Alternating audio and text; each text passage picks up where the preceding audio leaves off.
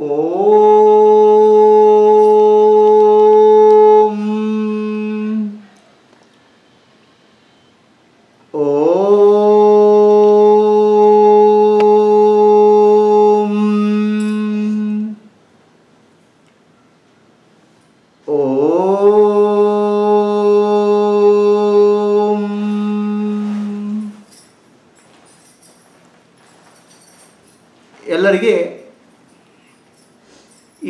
ಆತ್ಮದರ್ಶನ ಕಾರ್ಯಕ್ರಮಕ್ಕೆ ಸ್ವಾಗತ.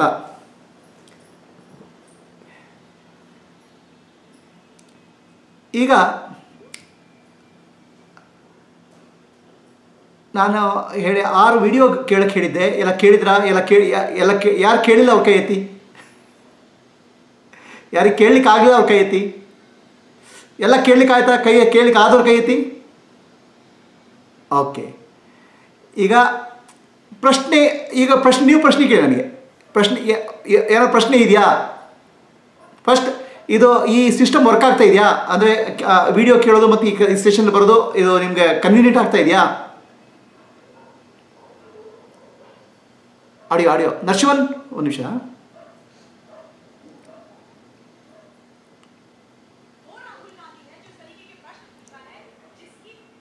ಕ್ಲಾಸಲ್ಲಿ ನಾವು ಇದು ಬಹಳ ಒಳ್ಳೇದು ಇದು ತರ ಮಾಡಿದ್ರೆ ತುಂಬಾ ಅನುಕೂಲ.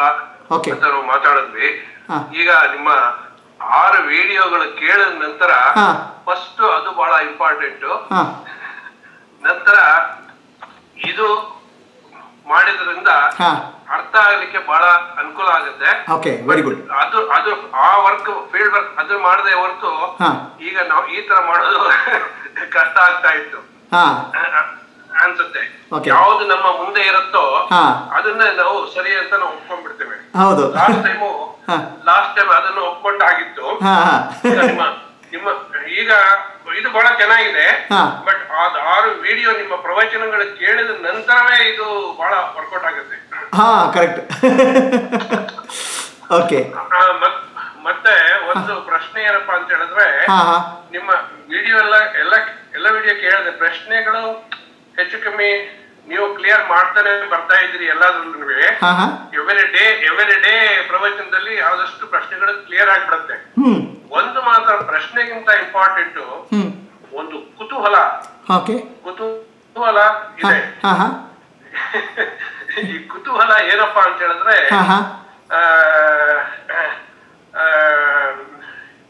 ನೀವು ಹನ್ನೆರಡು ವರ್ಷ ಕಾಲೇಜು. ನಾಲ್ಕು ವರ್ಷ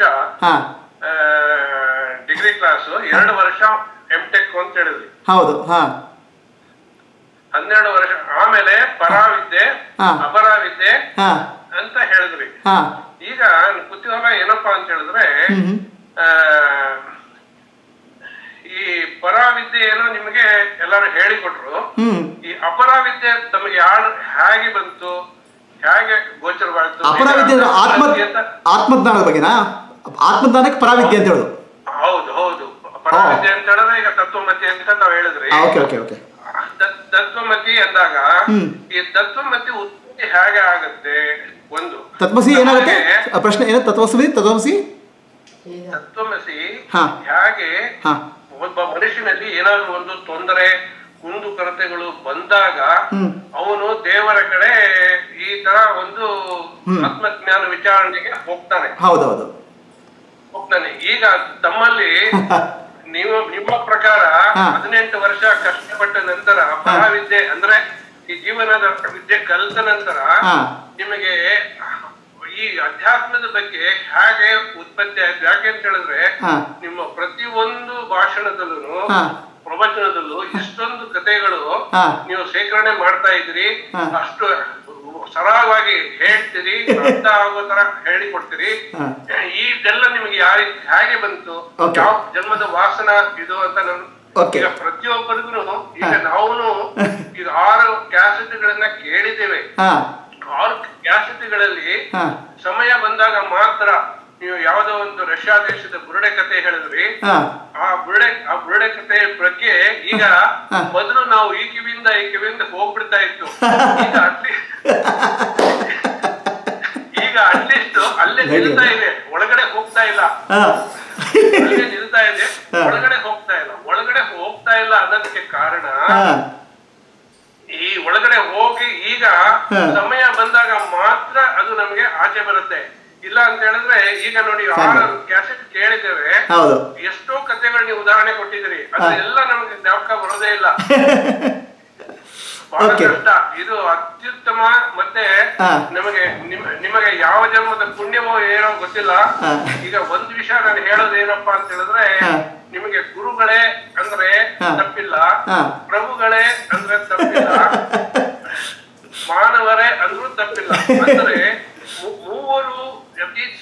ಶ್ರೇಷ್ಠವಾದರು ಏನಪ್ಪಾ ಅಂದ್ರೆ ವಸುದೇವ ಸುತಂ ದೇವಂ ಕಂಸ ಜಾಣೂರ ಮರ್ದನಂ ದೇವಕಿ ಪರಮಾನಂದಂ ಕೃಷ್ಣಂ ಒಂದೇ ಜಗದ್ಗುರು ಅಂತ ಹೇಳಿದ್ರು. ಪರಮಾತ್ಮನು ಸಹಿತ ಗುರುವೇ ಗುರು ಕೂಡ ಪರಮಾತ್ಮನೇ. ಅದರಿಂದ ನಿಮ್ಗೆ ಪರ ಕರೆಯುವುದರಲ್ಲಿ ಬಹಳ ಶ್ರೇಷ್ಠವಾಗಿದೆ. ಓಕೆ ನಿಮ್ಮ ಪ್ರಶ್ನೆಗೆ ಉತ್ತರ ಹೇಳ್ತೇನೆ ನಾನು. ಓಕೆ ನಿಮ್ಮ ಪ್ರಶ್ನೆ ಅಂದ್ರೆ ನನಗೆ ಹೀಗೆ ನನಗೆ ಹೀಗೆ ಇದು ಇದರಿಂದ ಏನು ಯಾವ ಕಾರಣದಿಂದ ಯಾವ ಹೇಗೆ ನನ್ನ ಆಧ್ಯಾತ್ಮಿಕ ಜೀವನ ಹೇಗೆ ಶುರುವಾಯಿತು ಅಂತ ಪ್ರಶ್ನೆ. ಅಲ್ವಾ? ಅದಕ್ಕೆ ಒಂದು ನಿಮಿಷ ಏನೋ ನಂದು ವಿಡಿಯೋ ಏನೋ ತೊಂದರೆ ಆಗ್ತಾ ಇದೆ. ವಿಡಿಯೋದಲ್ಲಿ ಏನೋ ಸರ್ಕಸ್ ಆಗ್ತಾ ಇದೆ. ಒಂದು ನಿಮಿಷ.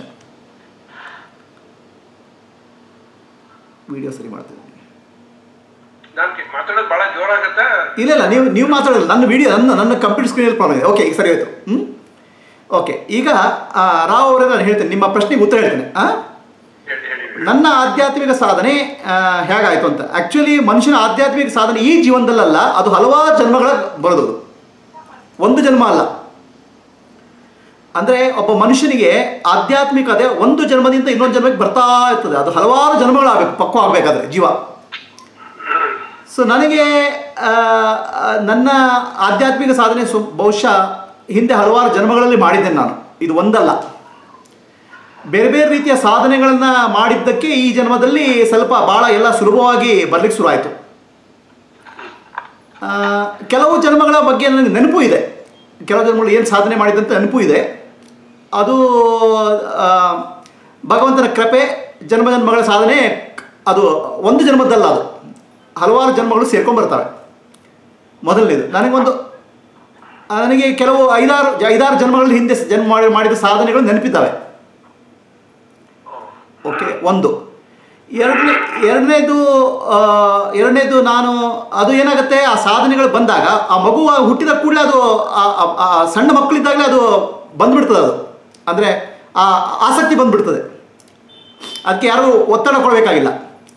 ಸೊ ಹಾಗಾಗಿಬಿಟ್ಟು ಏನಾಯಿತು ನಾನು ಸಣ್ಣ ಮಗು ಆಗಿದ್ದರೆ ನನಗೆ ಯೋಗದಲ್ಲಿ ಆಸಕ್ತಿ ಬಂತು ಯೋಗ. ಯೋಗದಲ್ಲಿ ಆಸಕ್ತಿ ಬಂತು ಕಡೆಗೆ ಅದಕ್ಕೆ ಒಳ್ಳೆ ಯೋಗ ಗುರುಗಳು ಸಿಕ್ಕಿದ್ರು. ಆ, ಈ ಮಲ್ಲಾಡಿಹಳ್ಳಿ ಸ್ವಾಮಿಗಳ ಶಿಷ್ಯರಾದ ಶಿಷ್ಯರಾದ ಆ, ಶೆಣೈ ಶೆಣೈ ಅಂತ ಒಬ್ಬರು ಸುಮಾರು ಹಲವಾರು ವರ್ಷಗಳ ನನಗೆ ಹತ್ತು ಹದಿನೈದು ವರ್ಷ ಚೆನ್ನಾಗಿ ಯೋಗ ಹೇಳ್ಕೊಟ್ರು. ಬೆಳಗ್ಗೆ ಪ್ರತಿ ದಿವಸ ಬೆಳಗ್ಗೆ ಐದು ಗಂಟೆಯಿಂದ ಆರೂವರೆವರೆಗೆ ಯೋಗ. ವಾರಕ್ಕೆ ಏಳು ದಿವಸ ವರ್ಷಗಟ್ಟಲೆ, ಡೈಲಿ ಏನೋ ಒಂದು ದಿವಸ ಬ್ರೇಕ್ ಇಲ್ಲ. ಅಲ್ಲಿ ಯೋಗ ಸಾಧನೆ ಚೆನ್ನಾಗಿ ಮಾಡಿಸಿದೆ. ಕಡೆಗೆ ಮಧ್ಯ ಯೋಗ ಸಾಧನೆ ಆಯಿತು, ಕಡೆಗೆ ಮಧ್ಯ ನಾನು ಸಣ್ಣವನಿರುವಾಗಲೇ ಒಬ್ಬ ಯಾರೋ ಒಬ್ಬ ಯೋಗಿ ಅವ್ರಿಗೆ ಹೆಸರು ಗೊತ್ತಿಲ್ಲ ನನಗೆ, ಬಂದು ನನಗೆ ಕುಂಡಲಿನಿ ಯೋಗದ ದೀಕ್ಷೆ ಕೊಟ್ಟು ಹೋದರು ಅದು ಸಣ್ಣದಿರುವಾಗಲೇ. ಕಡೆಗೆ ಹಾಗೆ ಹಾಗೆ ಬೆಳೆದೆ, ಬೆಳೆದಾಗ ನನಗೆ ಈ ಆಧ್ಯಾತ್ಮಿಕದ ಆಸಕ್ತಿ ಇದೆ ಬಟ್ ಅದ್ರ ಬಗ್ಗೆ ಏನೇನು ಬರ್ತದೆ ಅದನ್ನು ಸ್ವೀಕಾರ ಮಾಡ್ತಾರೆ. ಅದು ಇದು ಗೊತ್ತಿಲ್ಲ, ಏನು ನೆನಪು ಬರ್ತಾ ಇಲ್ಲ. ಕಡೆಗೆ ನನಗೆ ಇಪ್ ಹಾಗೆ ನಾನು ಇಂಜಿನಿಯರಿಂಗ್ ಮುಗಿಸಿದೆ ಎಂ ಟೆಕ್ ಮುಗಿಸಿದೆ. ಇದೆಲ್ಲ ಎಲ್ಲ ಸಣ್ಣ ಪ್ರಾಯದಲ್ಲಿ ಆಗೋಗ್ಬಿಟ್ಟಿದೆ ಯಾವುದು ಎಲ್ಲ ಯೋಗ ಸಾಧನೆ ಎಲ್ಲ. ಚೆನ್ನಾಗಿ ಈ ಯಮ, ನಿಯಮ, ಆಸನ, ಪ್ರಾಣಾಯಾಮ, ಪ್ರತ್ಯಾಹಾರ, ಧಾರಣ ಧಾರಣ, ಸಮಾಧಿ ಎಲ್ಲ ಸಂತೆಗಳು ಭಾಳ ಅದು ಯೋಗ ಸಾಧನೆಯಲ್ಲಿ ಸಣ್ಣದಾಗದಲ್ಲೇ ಬೆಳೆದು ಬೆಳೆದುಬಿಟ್ಟಿದ್ದೇನೆ ಬಿಕಾಸ್ ಗುರುಗಳ ಕೃಪೆಯಿಂದ. ಯೋಗ ಗುರುಗಳು. ಕಡೆಗೆ ಕೆಲಸಕ್ಕೆ ಸೇರಿದೆ ಎಂ ಟೆಕ್ ಮಾಡಿದೆ, ಕೆಲಸಕ್ಕೆ ಸೇರಿದೆ. ಕೆಲಸಕ್ಕೆ ಸೇರಿ ನಾನು ನನಗೆ ಇಪ್ಪತ್ತೊಂಬತ್ತು ವರ್ಷ ಆವಾಗ, ನನಗೆ ಇಪ್ಪತ್ತೊಂಬತ್ತು ವರ್ಷ ಆದಾಗ ಒಂದು, ನಾನು ದಿನಕ್ಕೆ ಎರಡು ಸಲ ಸಂಧ್ಯಾವನೆ ಮಾಡ್ತಿದ್ದೆ, ಬೆಳಿಗ್ಗೆ ಒಂದು ಸಲ ಸಾಯಂಕಾಲ ಒಂದು ಸಲ ಆ ಸಾಯಂಕಾಲ ಒಂದು ಸಲ ಸಂಧ್ಯಾವನೆ ಮಾಡೋ ಟೈಮಲ್ಲಿ ಅದು ಭಗವಂತನ ಕೃಪೆಯಿಂದ ಎಲ್ಲ ಆಧ್ಯಾತ್ಮ ಜ್ಞಾನ ತನ್ನಷ್ಟಾನೇ ಬಂದ್ಬಿಡ್ತು. ಇಟ್ ಇಸ್ ಲೈಕ್ ಅದು ಒಂಥರ ಹೇಳೋ ಹಾಗೆ ಹೇಳಬೇಕಂದ್ರೆ it just complete awakening one one ಒಂದು ಒಂದು ಸಂಧ್ಯಾ, ಒಂದು ಕಾಲದಲ್ಲಿ. ಆ ಅವೇಕನಿಂಗಲ್ಲಿ ಏನಾಯಿತು? ಒಂದು realisation that everything is God all this God ಅಂದರೆ ಅದು ಅಂಡರ್ಸ್ಟ್ಯಾಂಡಿಂಗ್ ಅಲ್ಲ ಇಂಟೆಲೆಕ್ಚುಯಲ್ ಅಂಡರ್ಸ್ಟ್ಯಾಂಡಿಂಗ್ ಅಲ್ಲ ಎಕ್ಸ್ಪೀರಿಯನ್ಷಿಯಲ್ ಸೊ ಆ ಎಕ್ಸ್ಪೀರಿಯನ್ಷಿಯಲ್ ಅಂಡರ್ಸ್ಟ್ಯಾಂಡಿಂಗ್ನಲ್ಲಿ ಅದು ಅದು ಹಲವಾರು ತುಂಬ ಡೀಟೇಲ್ ಆಗಿ ಹೇಳಬೇಕಂದ್ರೆ ಭಾಳ ಇದ್ದಾವೆ ಸಾಧನೆ, ಅಲ್ಲಿ ಭಾಳ ಭಾಳ ಅನುಭವ, ಬೇರೆ ಬೇರೆ ರೀತಿಯ ಅನುಭವಗಳಾಗ್ತವೆ. ಅದನ್ನು ನಾನು ಡೀಟೇಲ್ ಆಗಿ ಹೇಳಕ್ ಹೋಗಲ್ಲ. ಮೊದಲನೇ ಅನುಭವ ಏನಾಗುತ್ತೆ? ಎಲ್ಲವೂ ಭಗವಂತನ ಸ್ವರೂಪ, ಸರ್ವಂ ಖಲುವಿದ ಬ್ರಹ್ಮ ಅಂತ ಅರಿವಾಗ್ತದೆ. ಕಡೆಗೆ ಕಡೆಗೆ ಗ್ರ್ಯಾಜುವಲಿ ಆ ಅನುಭವ ಅದು ಭಾಳ ಸಂತೋಷ, ಅಂದರೆ ಆನಂದ ಕೊಡ್ತದೆ. ಕಣ್ಣಲ್ಲಿ ನೀರು ಬರ್ತದೆ, ಎಲ್ಲ ಭಕ್ತಿ ಮೂಡಿ ಬರ್ತದೆ, ಎಲ್ಲ ಬರ್ತದೆ. ಕಡೆಗೆ ಏನಾಯಿತು? ಆಗ್ತಾ ಇದ್ದಾಗ ನನಗೆ ಎಲ್ಲ ಆಧ್ಯಾತ್ಮಿಕ ಇದಿದೆಲ್ಲ, ಭಗವದ್ಗೀತೆ ಆಗಲಿ ಉಪನಿಷತ್ ಆಗಲಿ, ಅಲ್ಲಿ ಏನೇ ಯಾರಾದರೂ ಹೇಳಿದ್ರೆ ಅದು ಕೂಡ ಅದರ ಇನ್ನರ್ ಡಿವಿನಿಂಗ್ ಗೊತ್ತಾಗ್ಬಿಡ್ತಿತ್ತು. ಡೆಪ್ತ್ ಅಂದರೆ ಅದು ವಿದೌಟ್ ರೀಡಿಂಗ್ ಇಟ್ ಯಾವುದೇ ಶಾಸ್ತ್ರ ಕೇಳಿದ್ರು ಆ ಶಾಸ್ತ್ರದ ಡೆಪ್ತ್ ಗೊತ್ತಾಗ್ಬಿಡ್ತಿತ್ತು. ಅವರು ಅವರು, ಅವರಿಗೆ ಅವರಿಗೆ ಓದಬೇಕು ಬಟ್ ನನಗೆ ಅರ್ಥ, ಓದಬೇಕಾಗಲ್ಲ. ಅದು, ಇದು ಗೊತ್ತಾಗ್ಬಿಡ್ತಿತ್ತು. ಆಳ ಗೊತ್ತಾಗ್ಬಿಡ್ತಿತ್ತು. ಸೊ ಅಲ್ಲಿಂದ ನಾನು ಸ್ವಲ್ಪ ಬನ್ನಂಜಿ ಗೋವಿಂದಾಚಾರ್ಯರು ಅಂತ ಬನ್ನಂಜಿ ಗೋವಿಂದಾಚಾರ್ಯ ಹತ್ರ ದ್ವೈತ ಶಾಸ್ತ್ರ ಕಲಿತೆ ಸ್ವಲ್ಪ ಕಾಲ. ಕಡೆಗೆ ಹರ್ಷ ವಿದ್ಯಾ ಕೇಂದ್ರದಲ್ಲಿ ಅದ್ವೈತ ಶಾಸ್ತ್ರ ಕಲಿತೆ. ಮುಂಚೆ ಯೋಗಶಾಸ್ತ್ರ ಬರ್ತಾ ಇತ್ತು. ಕಡೆಗೆ ನಾನು ಹಿಂದಿನ ಜನ್ಮದಿಂದ ಕಾಶ್ಮೀರಿ ಶವಿಸಮ್ ಬರ್ತಾ ಇತ್ತು. ಸೊ ಹೀಗೆ ಎಲ್ಲ ಒಂದು ಅನುಭವಗಳು ಬರ್ತಾ ಹೋದವು ಮಧ್ಯ ಬೇರೆ ಬೇರೆ ಮಹಾತ್ಮರ ಪರಿಚ ಮಹಾತ್ಮರ ಮಹಾತ್ಮರ ಸ, ಇದು ಆಯಿತು ಅಮೃತಾನಂದಮಯಿ ಅವ್ರದ್ದು ಕಡೆಗೆ ಕೆಲವು ಹಲವಾರು ಮಹಾತ್ಮರ ಸನ್ನಿಧಾನವು ಬಂತು. ಭಾಳ ವಿಶೇಷ ಅನುಭವಗಳು ಅದು ಅದನ್ನು ಭಾಳ ಹೇಳುವ ಆಗ ಹೇಳುವಂಥದ್ದು ಹೇಳಕ್ಕೆ ಹೇಳೋಕ್ಕೆ ಏನು ಬೇಡ. ಬಟ್ ಭಾಳ ಅಂದರೆ ನನಗೆ ಆಧ್ಯಾತ್ಮದಲ್ಲಿ ಇದು ಸತ್ಯ ಅಂತ ದೃಢ ಆಗಲಿಕ್ಕೆ ಶುರು ಆಯಿತು ಬೇರೆ ಬೇರೆ ರೀತಿಯ ಅನುಭವಗಳಿಂದ. ಕಡೆಗೆ ನನಗೆ ಅದಂತ ಅದೇಂತ ಹೇಳಿದ್ರೆ ಈ ಈ what you call God consciousness ಭಗವಂತನ ಕಾನ್ಷಿಯಸ್ನಲ್ಲಿ ನಾನು ಸುಮಾರು ಹದಿನೈದು, ಇಪ್ಪತ್ತು ವರ್ಷ ಕಳೆದೆ. ಎಲ್ಲವೂ ಒನ್ನೆಸ್ ಆಲ್ ಒನ್ನೆಸ್ ಅಲ್ಲಿ. ಕಡೆಗೆ ನನಗೆ ಎರಡು ಸಾವಿರದ ನಾಲ್ಕು ಎರಡು ಸಾವಿರದ ಐದನೇ ಇಸ್ವಿಯಲ್ಲಿ ಪುತ್ತೂರಿನಲ್ಲಿ ಅಜ್ಜ ಅಂತ ಒಬ್ಬರಿದ್ದರು ಪುತ್ತೂರಿನ ಅಜ್ಜ ನನಗೆ ಆತ್ಮವಿಚಾರ ಹೇಳಿಕೊಟ್ರು. ಆತ್ಮವಿಚಾರ ನಾನು ಯಾರು ಅಂತ ವಿಚಾರ ಮಾಡೋದು. ಆ ವಿಚಾರ ಮಾಡಿದಾಗ ಆ, ಶುದ್ಧ ಅದ್ವೈತ ಜ್ಞಾನ ಅವ್ರಿಗೆ ಬಂತು. ಅಲ್ಲಿ ಶುದ್ಧ ಅದ್ವೈತ ಜ್ಞಾನ ಇರಲ್ಲ ಭಕ್ ಭಾಳ ಭಕ್ತಿ ಮತ್ತು ಭಗವಂತನ ಅನು ಅಂಡರ್ಸ್ಟ್ಯಾಂಡಿಂಗ್ ಇತ್ತು. ಶುದ್ಧ ಅದ್ವೈತ ಜ್ಞಾನ, ಆ ಅಜ್ಜವರು ನನಗೆ ನಾನು ಯಾರು ಅಂತ ವಿಚಾರದಲ್ಲಿ ಇನಿಷಿಯೇಟ್ ಮಾಡಿದರು. ಅದು ಮಾಡಿದಾಗ ಬಂತು. ಸೊ ಹಾಗಾಗಿಬಿಟ್ಟು ಅವಾಗ ಏನಾಯಿತು? ಸ್ವಲ್ಪ ಸ್ವಲ್ಪ ಜನ ಯಾರು ಕೇಳಲಿಕ್ಕೆ ಬರ್ತಾ ಇದ್ರು, ಅವರಿಗೆ ನಾನು ಹೇಳಿಕೊಡ್ತಾ ಇದ್ದೆ. ಅವರು ಅದನ್ನು ಒಂದು ಅದು ಸ್ವಲ್ಪ ಒಂದು ಸಿಸ್ಟಮ್ ಆಗಿ ಬೆಳೀತು ಅಷ್ಟೇ. ಕೇಳ್ತಾ ಇಲ್ಲ. ಕೇಳ್ತಾ ಇಲ್ಲ. ಅನ್ಮ್ಯೂಟ್ ಮಾಡಬೇಕು. ಬಹಳ ಬಹಳ ಸಂತೋಷ. ಬಹಳನೇ ಇದು ನೀವು ಹೇಳ್ದಾಗೆ ಯಾವ್ದೋ ಜನ್ಮದ ಸುಕೃತ ಬಳವೆ ಇರಬೇಕು. ಯಾಕೆ ಅಂತ ಹೇಳಿದ್ರೆ ಪರಮಾತ್ಮನನ್ನ ನಾವು ನೆನೆಸ್ಕೊಳ್ಬೇಕು ಅಂತ ಹೇಳಿದ್ರೆ ಯಾಕೆ ಇದನ್ನ ನಿಮಗೆ ಕೇಳದೆ ಕುತೂಹಲ ಆಗಿ ಅಂತ ಹೇಳಿದ್ರೆ ಈಗ ನನ್ನ ನಮ್ಮ ಜೀವನದಲ್ಲಿ ಸುಮಾರು ಹತ್ತದ್ನೈದು ವರ್ಷದ ಕೆಳಗಡೆ ಈ ಅಧ್ಯಾತ್ಮ ವಿಷಯದಲ್ಲಿ ನನಗೆ ಇರ್ಲೇ ಇರ್ಲಿಲ್ಲ. ಒಂದು ಹದಿನೈದು ವರ್ಷದ ನಂತರ ಸುಮ್ಮನೆ ಒಂದ್ ವರ್ಷಕ್ಕೊಮ್ಮೆ ಹೋಗ್ತಾ ಇದ್ವಿ ದೇವಸ್ಥಾನಕ್ಕೆ ಕೈ ಮುಗಿದು ಬರ್ತಾ ಇದ್ವಿ. ದೇವರ ಕೃಪೆಯಿಂದ ಹಾಗೆ ಬೆಳೀತಾ ಬಂತು. ಸಾವಿರದ ಎರಡ್ ಸಾವಿರದ ಹತ್ತು ಹನ್ನೊಂದರಲ್ಲಿ ನನಗೆ ಸ್ವಲ್ಪ ಈ ಆಂಜಿಯೋಪ್ಲಾಸ್ಟಿ ಆಯ್ತು. ಆಂಜಿಯೋಪ್ಲಾಸ್ಟಿ ಆದ ತಕ್ಷಣ ಅದಕ್ಕೆ ನಾನು ಕೇಳಿದೆ ಯಾವ್ದಾದ್ರು ಒಂದು ಕಾರಣ ಬೇಕಲ್ವೇ. ಭಗವಂತನ ಇದಕ್ಕೆ ಬರ್ಬೇಕು ಅಂತ ಹೇಳಿದ್ರೆ ಅವತ್ತು ಟೂ ತೌಸಂಡ್ ಲೆವೆನ್ ಇಂದ ನಾನು ಈ ಪ್ರಪಂಚದಲ್ಲಿ ಇರಲಿಲ್ಲ. ಇರಬಾರ್ದಾಗಿತ್ತು. ಇವತ್ತು ಮತ್ತೆ ನಾನು ಇಲ್ಲಿ ಇದ್ದೀನಿ ಅಂತ ಹೇಳಿದ್ರೆ ಆ ಪರಮಾತ್ಮನ ಕೃಪೆಯೇ. ಅದರಿಂದ ನಾವು ಪ್ರತಿ ಕ್ಷಣವೂ ಬೇರೆ ಕೆಲಸ ಮಾಡೋದಕ್ಕಿಂತ ಮೊದಲು ಪರಮಾತ್ಮನ ಧ್ಯಾನವನ್ನು ಮಾಡೋದು ಈ ನಾವು ಮತ್ತೆ ಎಷ್ಟು ದಿವಸ ಇರ್ತೇವೆ ಅಲ್ಲಿವರೆಗೂ ಪರಮಾತ್ಮನನ್ನ ಹುಡುಕ್ತಾ ಇರೋದು. ಹಾಗಾಗಿ ಹುಡುಕ್ತಾ ಹುಡುಕ್ತಾ ಹುಡುಕ್ತಾ ಹುಡುಕ್ತಾ ತಮ್ಮ ದರ್ಶನ ಆಯ್ತು. ತಮ್ಮ ದರ್ಶನ ಆಗಿ ನನಗೆ ಒಂದು ಆತ್ಮವಿಚಾರ ಸಿಕ್ತು. ಅಲ್ಲಿ ಬಹಳ ಸಂತೋಷ ಆಯ್ತು. ಅದಾದ್ಮೇಲೆ ತಮ್ಮ ಕ್ಯಾಸೆಟ್ ಎಲ್ಲವನ್ನೂ ಕೇಳಿದ್ದೇನೆ. ಈಗ ಪ್ರತಿ ದಿವಸ ಒಂದು ಐದರಿಂದ ಆರು ಗಂಟೆ ಇದರಲ್ಲೇ ಸಮಯನ ಕಳೆದ ಇದ್ದೇನೆ. ಆದ್ರೂ ನೀವು ಹೇಳಿದ ಪ್ರಕಾರ ಪ್ರತಿಯೊಂದು ಜ್ಞಾಪಕಕ್ಕೆ ಆಗಾಗ ಬರ್ತಾನೆ ಇರುತ್ತೆ. ನೀವು ಹೇಳಿದ್ರೆ ಯಾವುದೇ ಕತೆ ಹೇಳಿದ್ರು ಅದು ಅಹಂಕಾರವಾಗಿರುತ್ತೆ. ಯಾವ ಕಥೆನೂ ಅದು ನಿಜವಲ್ಲ ಅಂತ ಹೇಳಿದ್ರೆ ಓಕೆ. ಧನ್ಯವಾದ. ಹಾಗಾಗಿ ಏನ್ ಮಾಡ ಮಾತಾಡೋದು ತಪ್ಪಾಗುತ್ತೆ. ದಯವಿಟ್ಟು ಕ್ಷಮಿಸ್ಬೇಕು.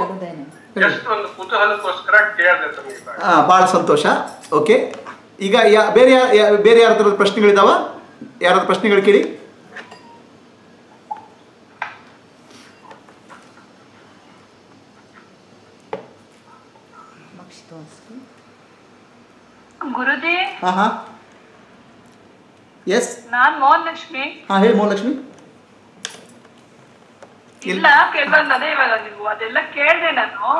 ಕೇಳಿ ಏನಂದ್ರೆ ಅದೇ ನಾವು ನಿದ್ರೆ ಇರ್ಲಿ ಎಚ್ಚರ ಇರ್ಲಿ ಸ್ಥಿತಿ ಒಂದೇ ಕನ್ಸಲ್ ಬರೋದ್ ನಿಜ ಆದ್ರೆ ವಾಸ್ತವದಲ್ಲಿ ಕಾಣೋ ಅಂಶಗಳು ನಿಜಾನೇ ಅಂತ. ಕೇಳಿಸ್ತಿದ್ಯಾ? ಕೇಳಿಸ ಹೇಳಿ. ನಿಜ ಅಂತ? ಸರ್. ನೀವ್ ಹೇಳಿದ್ದೆಲ್ಲ ಕನ್ಸು ಅದೆಲ್ಲ ಇದು ಕತೆಗಳೆಲ್ಲ ಮೈಂಡ್ ಅಲ್ಲಿ ಉಳಿಯಲ್ಲ. ಏನು ಅಂಶ ಇರುತ್ತೆ. ಎಚ್ಚರ ಜಾಗ್ರತೆ ಸ್ವಪ್ನ ಆ ಎಲ್ಲಾ ಅಂಶಗಳು ಎಚ್ಚರದಲ್ಲಿ ಏನಿರುತ್ತೋ ಕನ್ಸಲ್ಲಿ ಬಂದ್ರು ಅದು ಕೂಡ ನಿಜ ಇರುತ್ತೆ ಅಂತ. ಹಾಗೆ ಧ್ಯಾನ ತುಂಬಾ ಮಾಡಕ್ಕಾಗಲ್ಲ ಬಟ್ ಆ ಮೈಂಡ್ ಅಲ್ಲಿ ಇಟ್ಕೊಂಡೆ ನಾವು ದಿನ ರಿಲ್ಯಾಕ್ಸ್ ಆಗಿ ಹೋಗ್ಬೋದಲ್ವಾ ಅಂತ ಕೇಳಲ್ಲ ಅಲ್ಲ ಪ್ರಶ್ನೆ ಹೇಳಿ ಪ್ರಶ್ನೆ ಒಂದು ಒಂದು ಅಲ್ಲಿ ಪ್ರಶ್ನೆ ಕೇಳಿ. ಫೈನಲ್ ಪ್ರಶ್ನೆ ಹೇಳಿ. ಪ್ರಶ್ನೆ ಅಂದ್ರೆ ಈಗ ನಾವು ಅದೇ ಸ್ಥಿತಿಯಲ್ಲಿ ಸುಮ್ನೆ ಕ್ವೈಟಾಗಿ ಕೂಡಕ್ಕಾಗಲ್ಲ ಬಟ್ ಆ ಅಂಶಗಳನ್ನ ಮನನ ಮಾಡ್ಕೋತಾ ಹೌದು. ಇದು- ಇದು ಒಂದ್ ದಿವಸ ಇದು ಒಂದ್ ದಿವ್ಸದ ಕೆಲಸ ಅಲ್ಲ. ರಿಲ್ಯಾಕ್ಸ್ ಆಗಿ ಹೋಗ್ತಿದ್ರೆ ಅದು ಅದು ಧ್ಯಾನ ತರ ಆಗತ್ತಾ ಅಂತ. ಹೌದು ಹೌದು ಹೌದು. ಇದು ಒಂದ್ ದಿವಸದ ಕೆಲಸ ಅಲ್ಲ ಇದು. ಇದು ನಿಧಾ ಜೀವನ ಇದು ನಾವು ಒಂದು ದಿವಸದಲ್ಲಿ ಮಗು ಇದ್ದದ್ದು ನಡೆದು ಅದು ಓಡ್ಲಿಕ್ಕೆ ಆಗಲ್ಲ. ಅದು ಬೆಳಿಬೇಕು. ಅಧ್ಯಾತ್ಮ ನಮ್ಮಲ್ಲಿ ಬೆಳಿಬೇಕು. ನಿಧಾನವಾಗಿ ಬೆಳೀತದೆ. ಅದು ಮೊದಲು ಸಣ್ಣ ಬೀಜ ಇರ್ತದೆ. ಅದು ಅದು ನಮ್ಮಲ್ಲಿ ಆಗ್ತಿದೆ ಅಂತ ಅದಕ್ಕೆ ಒಂದು ಗುಣಲಕ್ಷಣಗಳು ನಮ್ಮಲ್ಲಿ ಕಾಣಿಸುತ್ತಲ್ವಾ? ಆ ಅಂಶಗಳು ಏನ ಏನಿರ್ಬೋದು ಅಂತ. ಆ ಗುಣಲಕ್ಷಣಗಳು ಏನು ಕಾಣ್ತಾವೆ ಅಂತ ಹೇಳಿದ್ರೆ ಅದು ಮುಂದೆ ನಿಮ್ಗೆ ಗೊತ್ತಾಗುತ್ತೆ. ಮೊದಲನೇದು ಏನಾಗುತ್ತೆ ನಿಮಗೆ ಜೀವನದಲ್ಲಿ ಏನೇ ಕಷ್ಟ ಸುಖಗಳು ಬಂದು ಡಿಸ್ಟರ್ಬೆನ್ಸ್ ಆಗಲ್ಲ. ಭಾಳ ಕಷ್ಟ ಭಾಳ ಮನಸ್ಸು ಶಾಂತ ಆಗಿರ್ತದೆ. ಮೊದಲನೇದು. ಆಯ್ತಾ?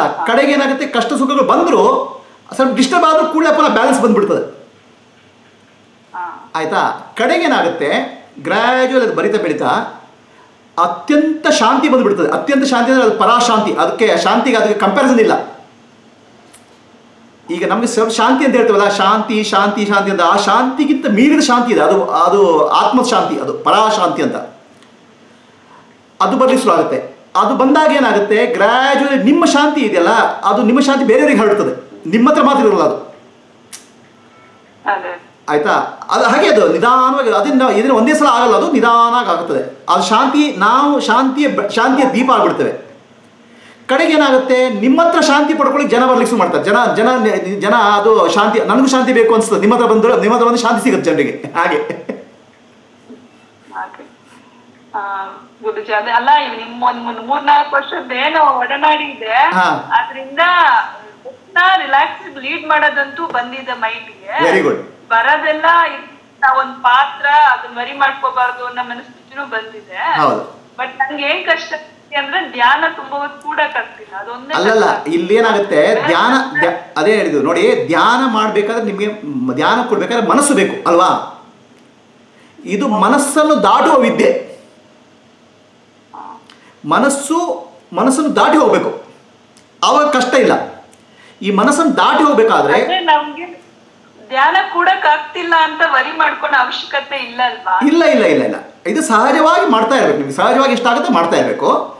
ಶ್ರವಣ ಮನನ ಮಾಡ್ತಾ ಇದ್ದಾಗೆ ನಿಧಾನವಾಗಿ ಮನಸ್ಸನ್ನು ದಾಟಿ ಹೋಗ್ತೇವೆ ನಾವು. ಮನಸ್ಸಿನ ಹಂತ ಮನನ ಆಗ್ತಾನೆ ಇರುತ್ತೆ.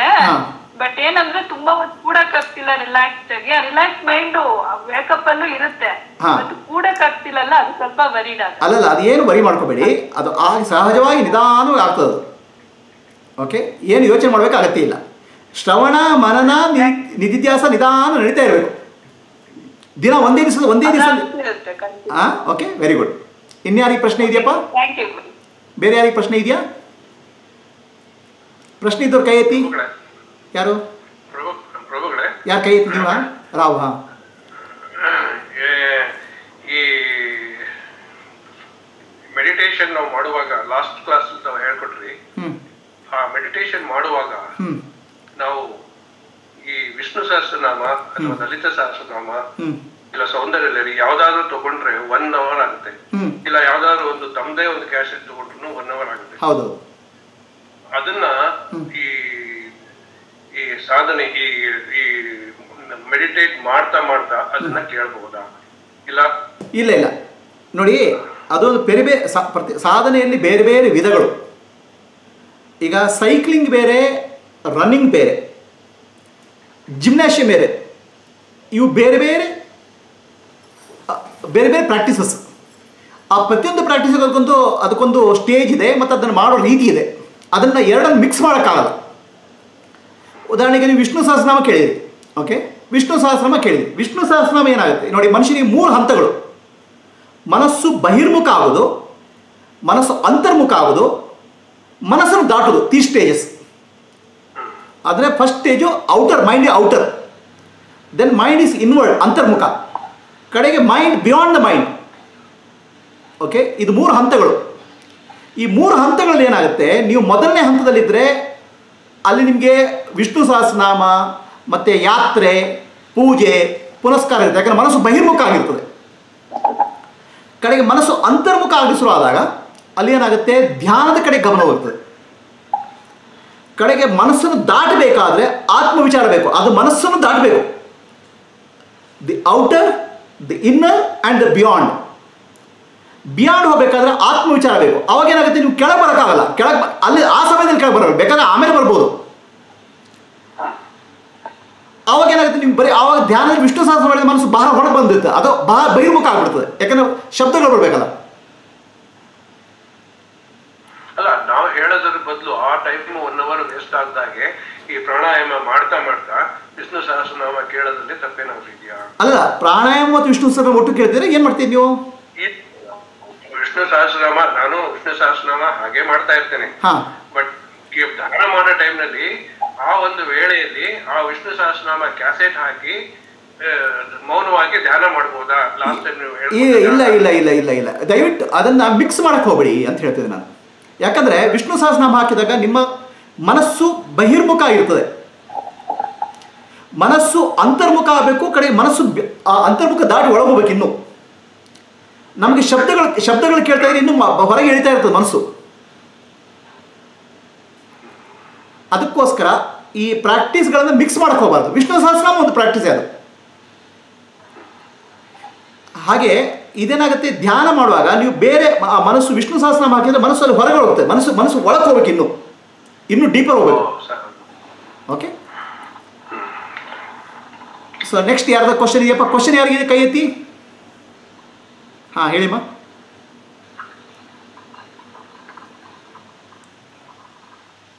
ಹೇಳಿ ಆಡಿಯೋ ಆಡಿಯೋ ಇದು ಮಾಡಬೇಕು ಮ್ಯೂಟ್ ಅನ್ಮ್ಯೂಟ್ ಮಾಡಬೇಕು ನೀವು. ಹಲೋ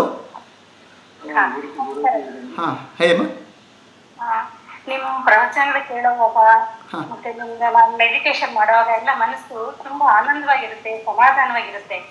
ಆದ್ರೆ ಆ ಸ್ಥಿತಿನ ನಾನು ತುಂಬಾ ಹೊತ್ತು ಉಳಿಸ್ಕೊಳಕ್ ಆಗಲ್ವಲ್ಲ ಗುರುಜಿ? ಅದರಿಂದ ಹೊರಗೆ ಬಂದ್ರೆ ಬೇಗ ಮನಸ್ಸು ಡಿಸ್ಟ್ರಾಕ್ಟ್ ಆಗುತ್ತೆ. ಅದನ್ನ ಹೇಗೆ ಉಳಿಸ್ಕೊಳ್ಳೋದು ನೋಡಿ ಅಮ್ಮ ಜೀವನದಲ್ಲಿ ಪ್ರತಿಯೊಂದಕ್ಕೂ ಟೈಮ್ ತಗೊಳುತ್ತೆ ಹೌದಾ? ಎಲ್ಲ ಒಂದೇ ಸಲ ಆಗಲ್ಲ ತಾನೆ? ಆ ಮಗು ಹುಟ್ಟಿದಾಗ ಮೊದಲು ತೆವಳ್ಕೊಂಡು ಹೋಗುತ್ತೆ. ಆಮೇಲೆ ಅಂಬೆಗಾಲಿಡ್ತದೆ ಆಮೇಲೆ ನಡೀತದೆ. ಆಮೇಲೆ ಓಡ್ತದೆ. ಅಲ್ವಾ? ಈ ಆಧ್ಯಾತ್ಮ ಸಾಧನೆಯಲ್ಲಿ ಕೂಡ ನಾವು ಒಂದೊಂದು ಸ್ಟೆಪ್ ಬೈ ಸ್ಟೆಪ್ ಹೋಗಬೇಕು. ಎಲ್ಲ ಗಡಿಬಿಡಿ ಮಾಡೋಗಿಲ್ಲ? ಈಗ ಮನಸ್ಸನ್ನು ನಿಧಾನವಾಗಿ ನಿಯಂತ್ರಣ ಮಾಡ್ತಾ ಮಾಡ್ತಾ ಮಾಡ್ತಾ ಮನಸ್ಸು ಆಳಕ್ಕೆ ಆಳಕ್ಕೆ ಹೋದಾಗ ಕಡೆಗೆ ಮನಸ್ಸು ಕರೆಗೆ ಹೋಗ್ಬಿಡ್ತದೆ. ಮನಸ್ಸು ಭಗವಂತನಲ್ಲಿ ಕರಗೋಗ್ಬಿಡ್ತದೆ ಆ ಸ್ಟೇಜಲ್ಲಿ ನಿಮ್ಗೇನು ಏನು ಸಾಧನೆ ಬೇಕಾಗಿಲ್ಲ. ಅಲ್ಲಿ ಅಲ್ಲಿ ಬರುವವರಿಗೆ ನಿಧಾನವಾಗಿ step by step by step by ಹೋಗ್ತಾ ಇರಬೇಕು. ಯಾವಾಗಲೂ ಅರ್ಜೆಂಟ್ ಮಾಡಬಾರ್ದು. ಪ್ರಯತ್ನ ಪಡ್ತಾ ಬಟ್ ಇನ್ನೂ ನನ್ಗೆ ತೃಪ್ತಿ ಆಗ್ತಾ ಇಲ್ಲ. ಅಲ್ಲ ಅದಕ್ಕೆ ಶ್ರವಣ ಮನನ ನಿಧಿ ನನಗೆ ಅಂತ ಹೇಳಿದ್ರಲ್ಲಪ್ಪ ನೀವು? ನೀವು ನನಗೆ ಅಂತ ಹೇಳ್ತಿಲ್ಲ ಯಾರು ನಾನದು? ಅದು ಯಾವ ನಾನದು? ಸಾಕ್ಷಿ. ನಾನು ನಾನು ಸಾಕ್ಷಿಗೆ ಏನಾದ್ರು ಸಮಸ್ಯೆ ಇದೆಯಾ? ಸಮಸ್ಯೆ ಯಾರಿಗೆ? ನೀವು ಯಾರು? ಪುನಃ ಪುನಃ ನಾನು ನಿಜವಾದ ನಾನು ಕಡೆ ಹೋಗ್ಬೇಕು. ನೀವು ಸುಳ್ಳು ನಾನು ಸಿಕ್ಕಾಕ್ಬಿಟ್ರೆ ಅದು ನಿಮ್ಮನ್ನು ಬಿಡಲ್ಲ ಅದು. ಗೊತ್ತಾಯ್ತಾ? ಇದು ಈ ನಮ್ಮಲ್ಲಿ ನಮ್ಮಲ್ಲಿ ಮೂರು ನಾನಿದೆ ಗೊತ್ತಾ ನಿಮಗೆ? ನಾನು ಮೂರು ನಾನು ಬಗ್ಗೆ ಹೇಳಿದೆನಾ? ಯಾವ ನಾನು? ಒಂದು ನಮ್ಮ ಸಮಾಜ ನನಗೆ ಏನು ಹೇಳ್ತದೆ? ನಾನು ನಾನು. ನನಗೆ ಏನು ಹೇಳ್ಕೊಡ್ತೀನಿ ನಾನು. ಮತ್ತು ನಿಜವಾದ ನಾನು. ಆಯ್ತಾ? ಈಗ ನಾವು ಬದುಕ್ತಾ ಇರೋದು ಸುಳ್ಳು ನಾನು ಅಂದ್ರೆ ಬದುಕ್ತಾ ಇದ್ದೇವೆ ಸುಳ್ಳು ನಾನು. ಆ ಸುಳ್ಳು ನಾನೆಂದು ಹೊರಗೆ ಬರಬೇಕು. ನಿಜವಾದ ನಾನು ಕಡೆ ಬರಬೇಕು ಆ ನಿಜವಾದ ನಾನು ಸಾಕ್ಷಿ ಆತ್ಮ ಆನಂದ ಸ್ವರೂಪ. ಅದಕ್ಕೆ ಧ್ಯಾನವೂ ಬೇಕಾಗಿಲ್ಲ. ಆದರೆ ಈಗ ಸುಳ್ಳು ಆನಂದ ಹೊರಬೇಕಾದ್ರೆ ಪ್ರಯತ್ನ ಮಾಡಬೇಕಲ್ಲ? ಹೌದು. ಅದಕ್ಕೆ ಅದಕ್ಕೋಸ್ಕರ ಪುನಃ ಪುನಃ ಶ್ರವಣ ಮನನ ನಿಧಿಧ್ಯಾಸ ಮಾಡಬೇಕು. ನಾನು ಯಾರೊಂದು ವಿಚಾರ ಮಾಡಬೇಕು. ನೀವು ನನಗೆ ಕಷ್ಟ ಆಗುತ್ತೆ ಅಂತ ಹೇಳಿದ್ರೆ ಆ ಕಷ್ಟ ನಾನು ಯಾರು ನೋಡಿ? ಅದು ಸುಳ್ಳು ನಾವು. ಅರ್ಥ ಆಯ್ತಾ? ಆತ್ಮ ವಿಚಾರ ಮಾಡ್ತಾ ಮಾಡ್ತಾ ಸುಳ್ಳು ನಾನು ಹೋಗ್ಬಿಡ್ಬೇಕು. ನಿಜವಾದ ನಾನು ಉಳಿಬೇಕು. ಬೇಗ ಅಂತ ಹೇಳುವವರು ಯಾರು? ಸರಿ. ಬೇಗ. ಅಂತ ಹೇಳುವವರು ಯಾರು? ಸಾಕ್ಷಿ ಬೇಗ ಅಂತ ಹೇಳ್ತದ? ಸಾಕ್ಷಿ. ಹೌದು. ಸಾಕ್ಷಿ ಹೇಳ್ತದ? ನೀವು ಯಾರು? ಇಲ್ಲೇ ಸಮಸ್ಯೆ. ನಾನು ಅನ್ನೋದು ಸಿಕ್ಕಾಕೊಂಡ್ಬಿಡ್ತೀರ? ಅದಕ್ಕೆ ಏನ್ ಹೇಳ್ಬೇಕು? ನಾನು ಹೇಳ್ತೇನೆ ರಿಪೀಟ್ ಮಾಡಿ. ನಾನು. ನಾನು. ನಾನೆಂಬುದು. ನಾನಲ್ಲ. ನಾನಲ್ಲ. ಈ ದೇಹ. ಈ ದೇಹ. ದೇಹ. ಮನ ಬುದ್ಧಿ ಮನಸ್ಸು ಮನ ಬುದ್ಧಿ ನಾನಲ್ಲ. ನಾನಲ್ಲ ಸಚಿದಾನಂದಾತ್ಮ ಶಿವನಾನು ಶಿವ ನಾನು ನಾನೇ. ಶಿವ ನಾನೇ ಶಿವೋಹಂ. ಶಿವೋಹಂ. ಶಿವೋಹಂ. ಶಿವೋಹಂ. ಪುನಃ ಪುನಃ ಪುನಃ ಪುನಃ ಸುಳ್ಳು ನಾನು ಸಿಕ್ಕಾಕೋಬಾರ್ದು. ಪುನಃ ಪುನಃ ಶಿವಸ್ವರೂಪಿ ನಾನು ಅಂತ ತಿಳ್ಕೋಬೇಕು. ಗೊತ್ತಾಯ್ತಾ? ಸುಳ್ಳು ನಾನುಗೆ ಕಷ್ಟ ತಪ್ಪಿದ್ದಲ್ಲ.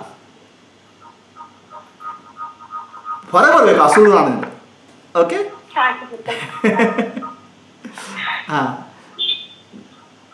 ನೆಕ್ಸ್ಟ್ ಇನ್ಯಾರಿಗೆ ಪ್ರಶ್ನೆ ಇದೆ ಕೈ ಎತ್ತಿ? ಪ್ರಶ್ನೆ ಪ್ರಶ್ನೆ ಇರೋರು ಕೈ ಎತ್ತಿಯಪ್ಪ? ಹಾಂ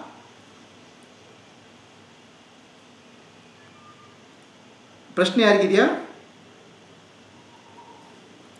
ಯಾರಿಗೆ ಪ್ರಶ್ನೆ ಇಲ್ದ್ರೆ ಮುಂದಕ್ಕೆ ಹೋಗೋಣ. ಯಾರದು? ಯಾರ ಕೈ ಎತ್ತಿ? ಜಯಲಕ್ಷ್ಮಿ ಅವರಾ? ಹಾ ಹಾ ಹೇಳಿ. ನಾವು ನಮ್ಮ ಒಳಗೆ ಆಗ್ತಾ ಇಲ್ಲ. ನಮ್ಗೆ ಇನ್ನೂ ಸಿಕ್ಕಿಲ್ಲ ಸಿಕ್ಕಿಲ್ಲ ಅಂದ್ರೆ ಎಲ್ಲಿಂದ ಸಿಗುತ್ತೆ ಅಲ್ವಾ? ಒಳಗೆ ಹೇಳ್ಕೊಳ್ಳೋದನ್ನ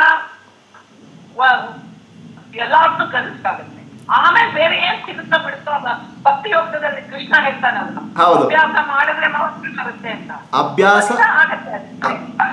ಸಿಗಲ್ಲ. ಅದು ಮನಸ್ಸನ್ನು ಒಳಗೆ ಎಳಿಬೇಕು ಒಳಗೆ ಎಳೆದು ಮೇಲಕ್ಕೆ ಹೋಗ್ಬೇಕು. ಒಳಕ್ಕೆ ಎಳಿಬೇಕು ಮೇಲಕ್ಕೆ ಹೋಗ್ಬೇಕು. ಪುನಃ ಪುನಃ ಮನಸ್ಸು ಹೊರಗೆ ಎಳಿತದೆ ಅದು ಒಳಗೆ ಬರಬೇಕು ಸಂದರ್ಭದಲ್ಲಿ ಹೇಳಿದ್ರಲ್ಲ ಆ ಆ, ಮುಂದೆ ವರ್ಷ ಓದ್ಬಿಟ್ಟು ಬಂದ ಆ, ಮತ್ತೆ ಅವ್ನು ಒಬ್ಬ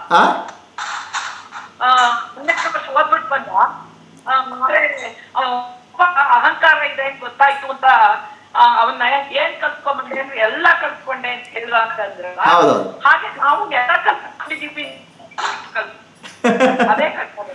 ಆ ಎಲ್ಲ ಈಗ ನೋಡಿ ಇದು ಆತ್ಮಜ್ಞಾನ ಅಂದ್ರೆ ಎಲ್ಲ ಕಲ್ತ್ಕೊಂಡ ಕಲ್ತ್ಕೊಂಡಂತ ದಾಟಬೇಕು. ಕಲ್ತ್ಕೊಂಡ್ರೆ ಸಿಕ್ಕಾಕೋಬಾರ್ದು ಅದು ಅಹಂಕಾರ ನಿಜ ನಿಜವಾದ ನಾನು ಕಡೆ ಹೋಗಬೇಕು. ನಾನು ಯಾರು ವಿಚಾರ ಮಾಡಿ ನಿಜವಾದ ನಾನು ಕಡೆ ಹೋಗಬೇಕು. ಇನ್ಯಾ ಇನ್ಯಾರ ಪ್ರಶ್ನೆ ಇದೆಯಾ? ಮಂಗಳ ಅವರೇ? ಏನಿಲ್ಲ ಸರ್. ಓಕೆ. ಬೇರೆ ಯಾರ ಪ್ರಶ್ನೆ ಇದೆಯಾ? ಮುಂದಕ್ಕೆ ಹೋಗೋಣ? ಹಾ ಎಸ್ ಯಶ್ಮಿತಾ?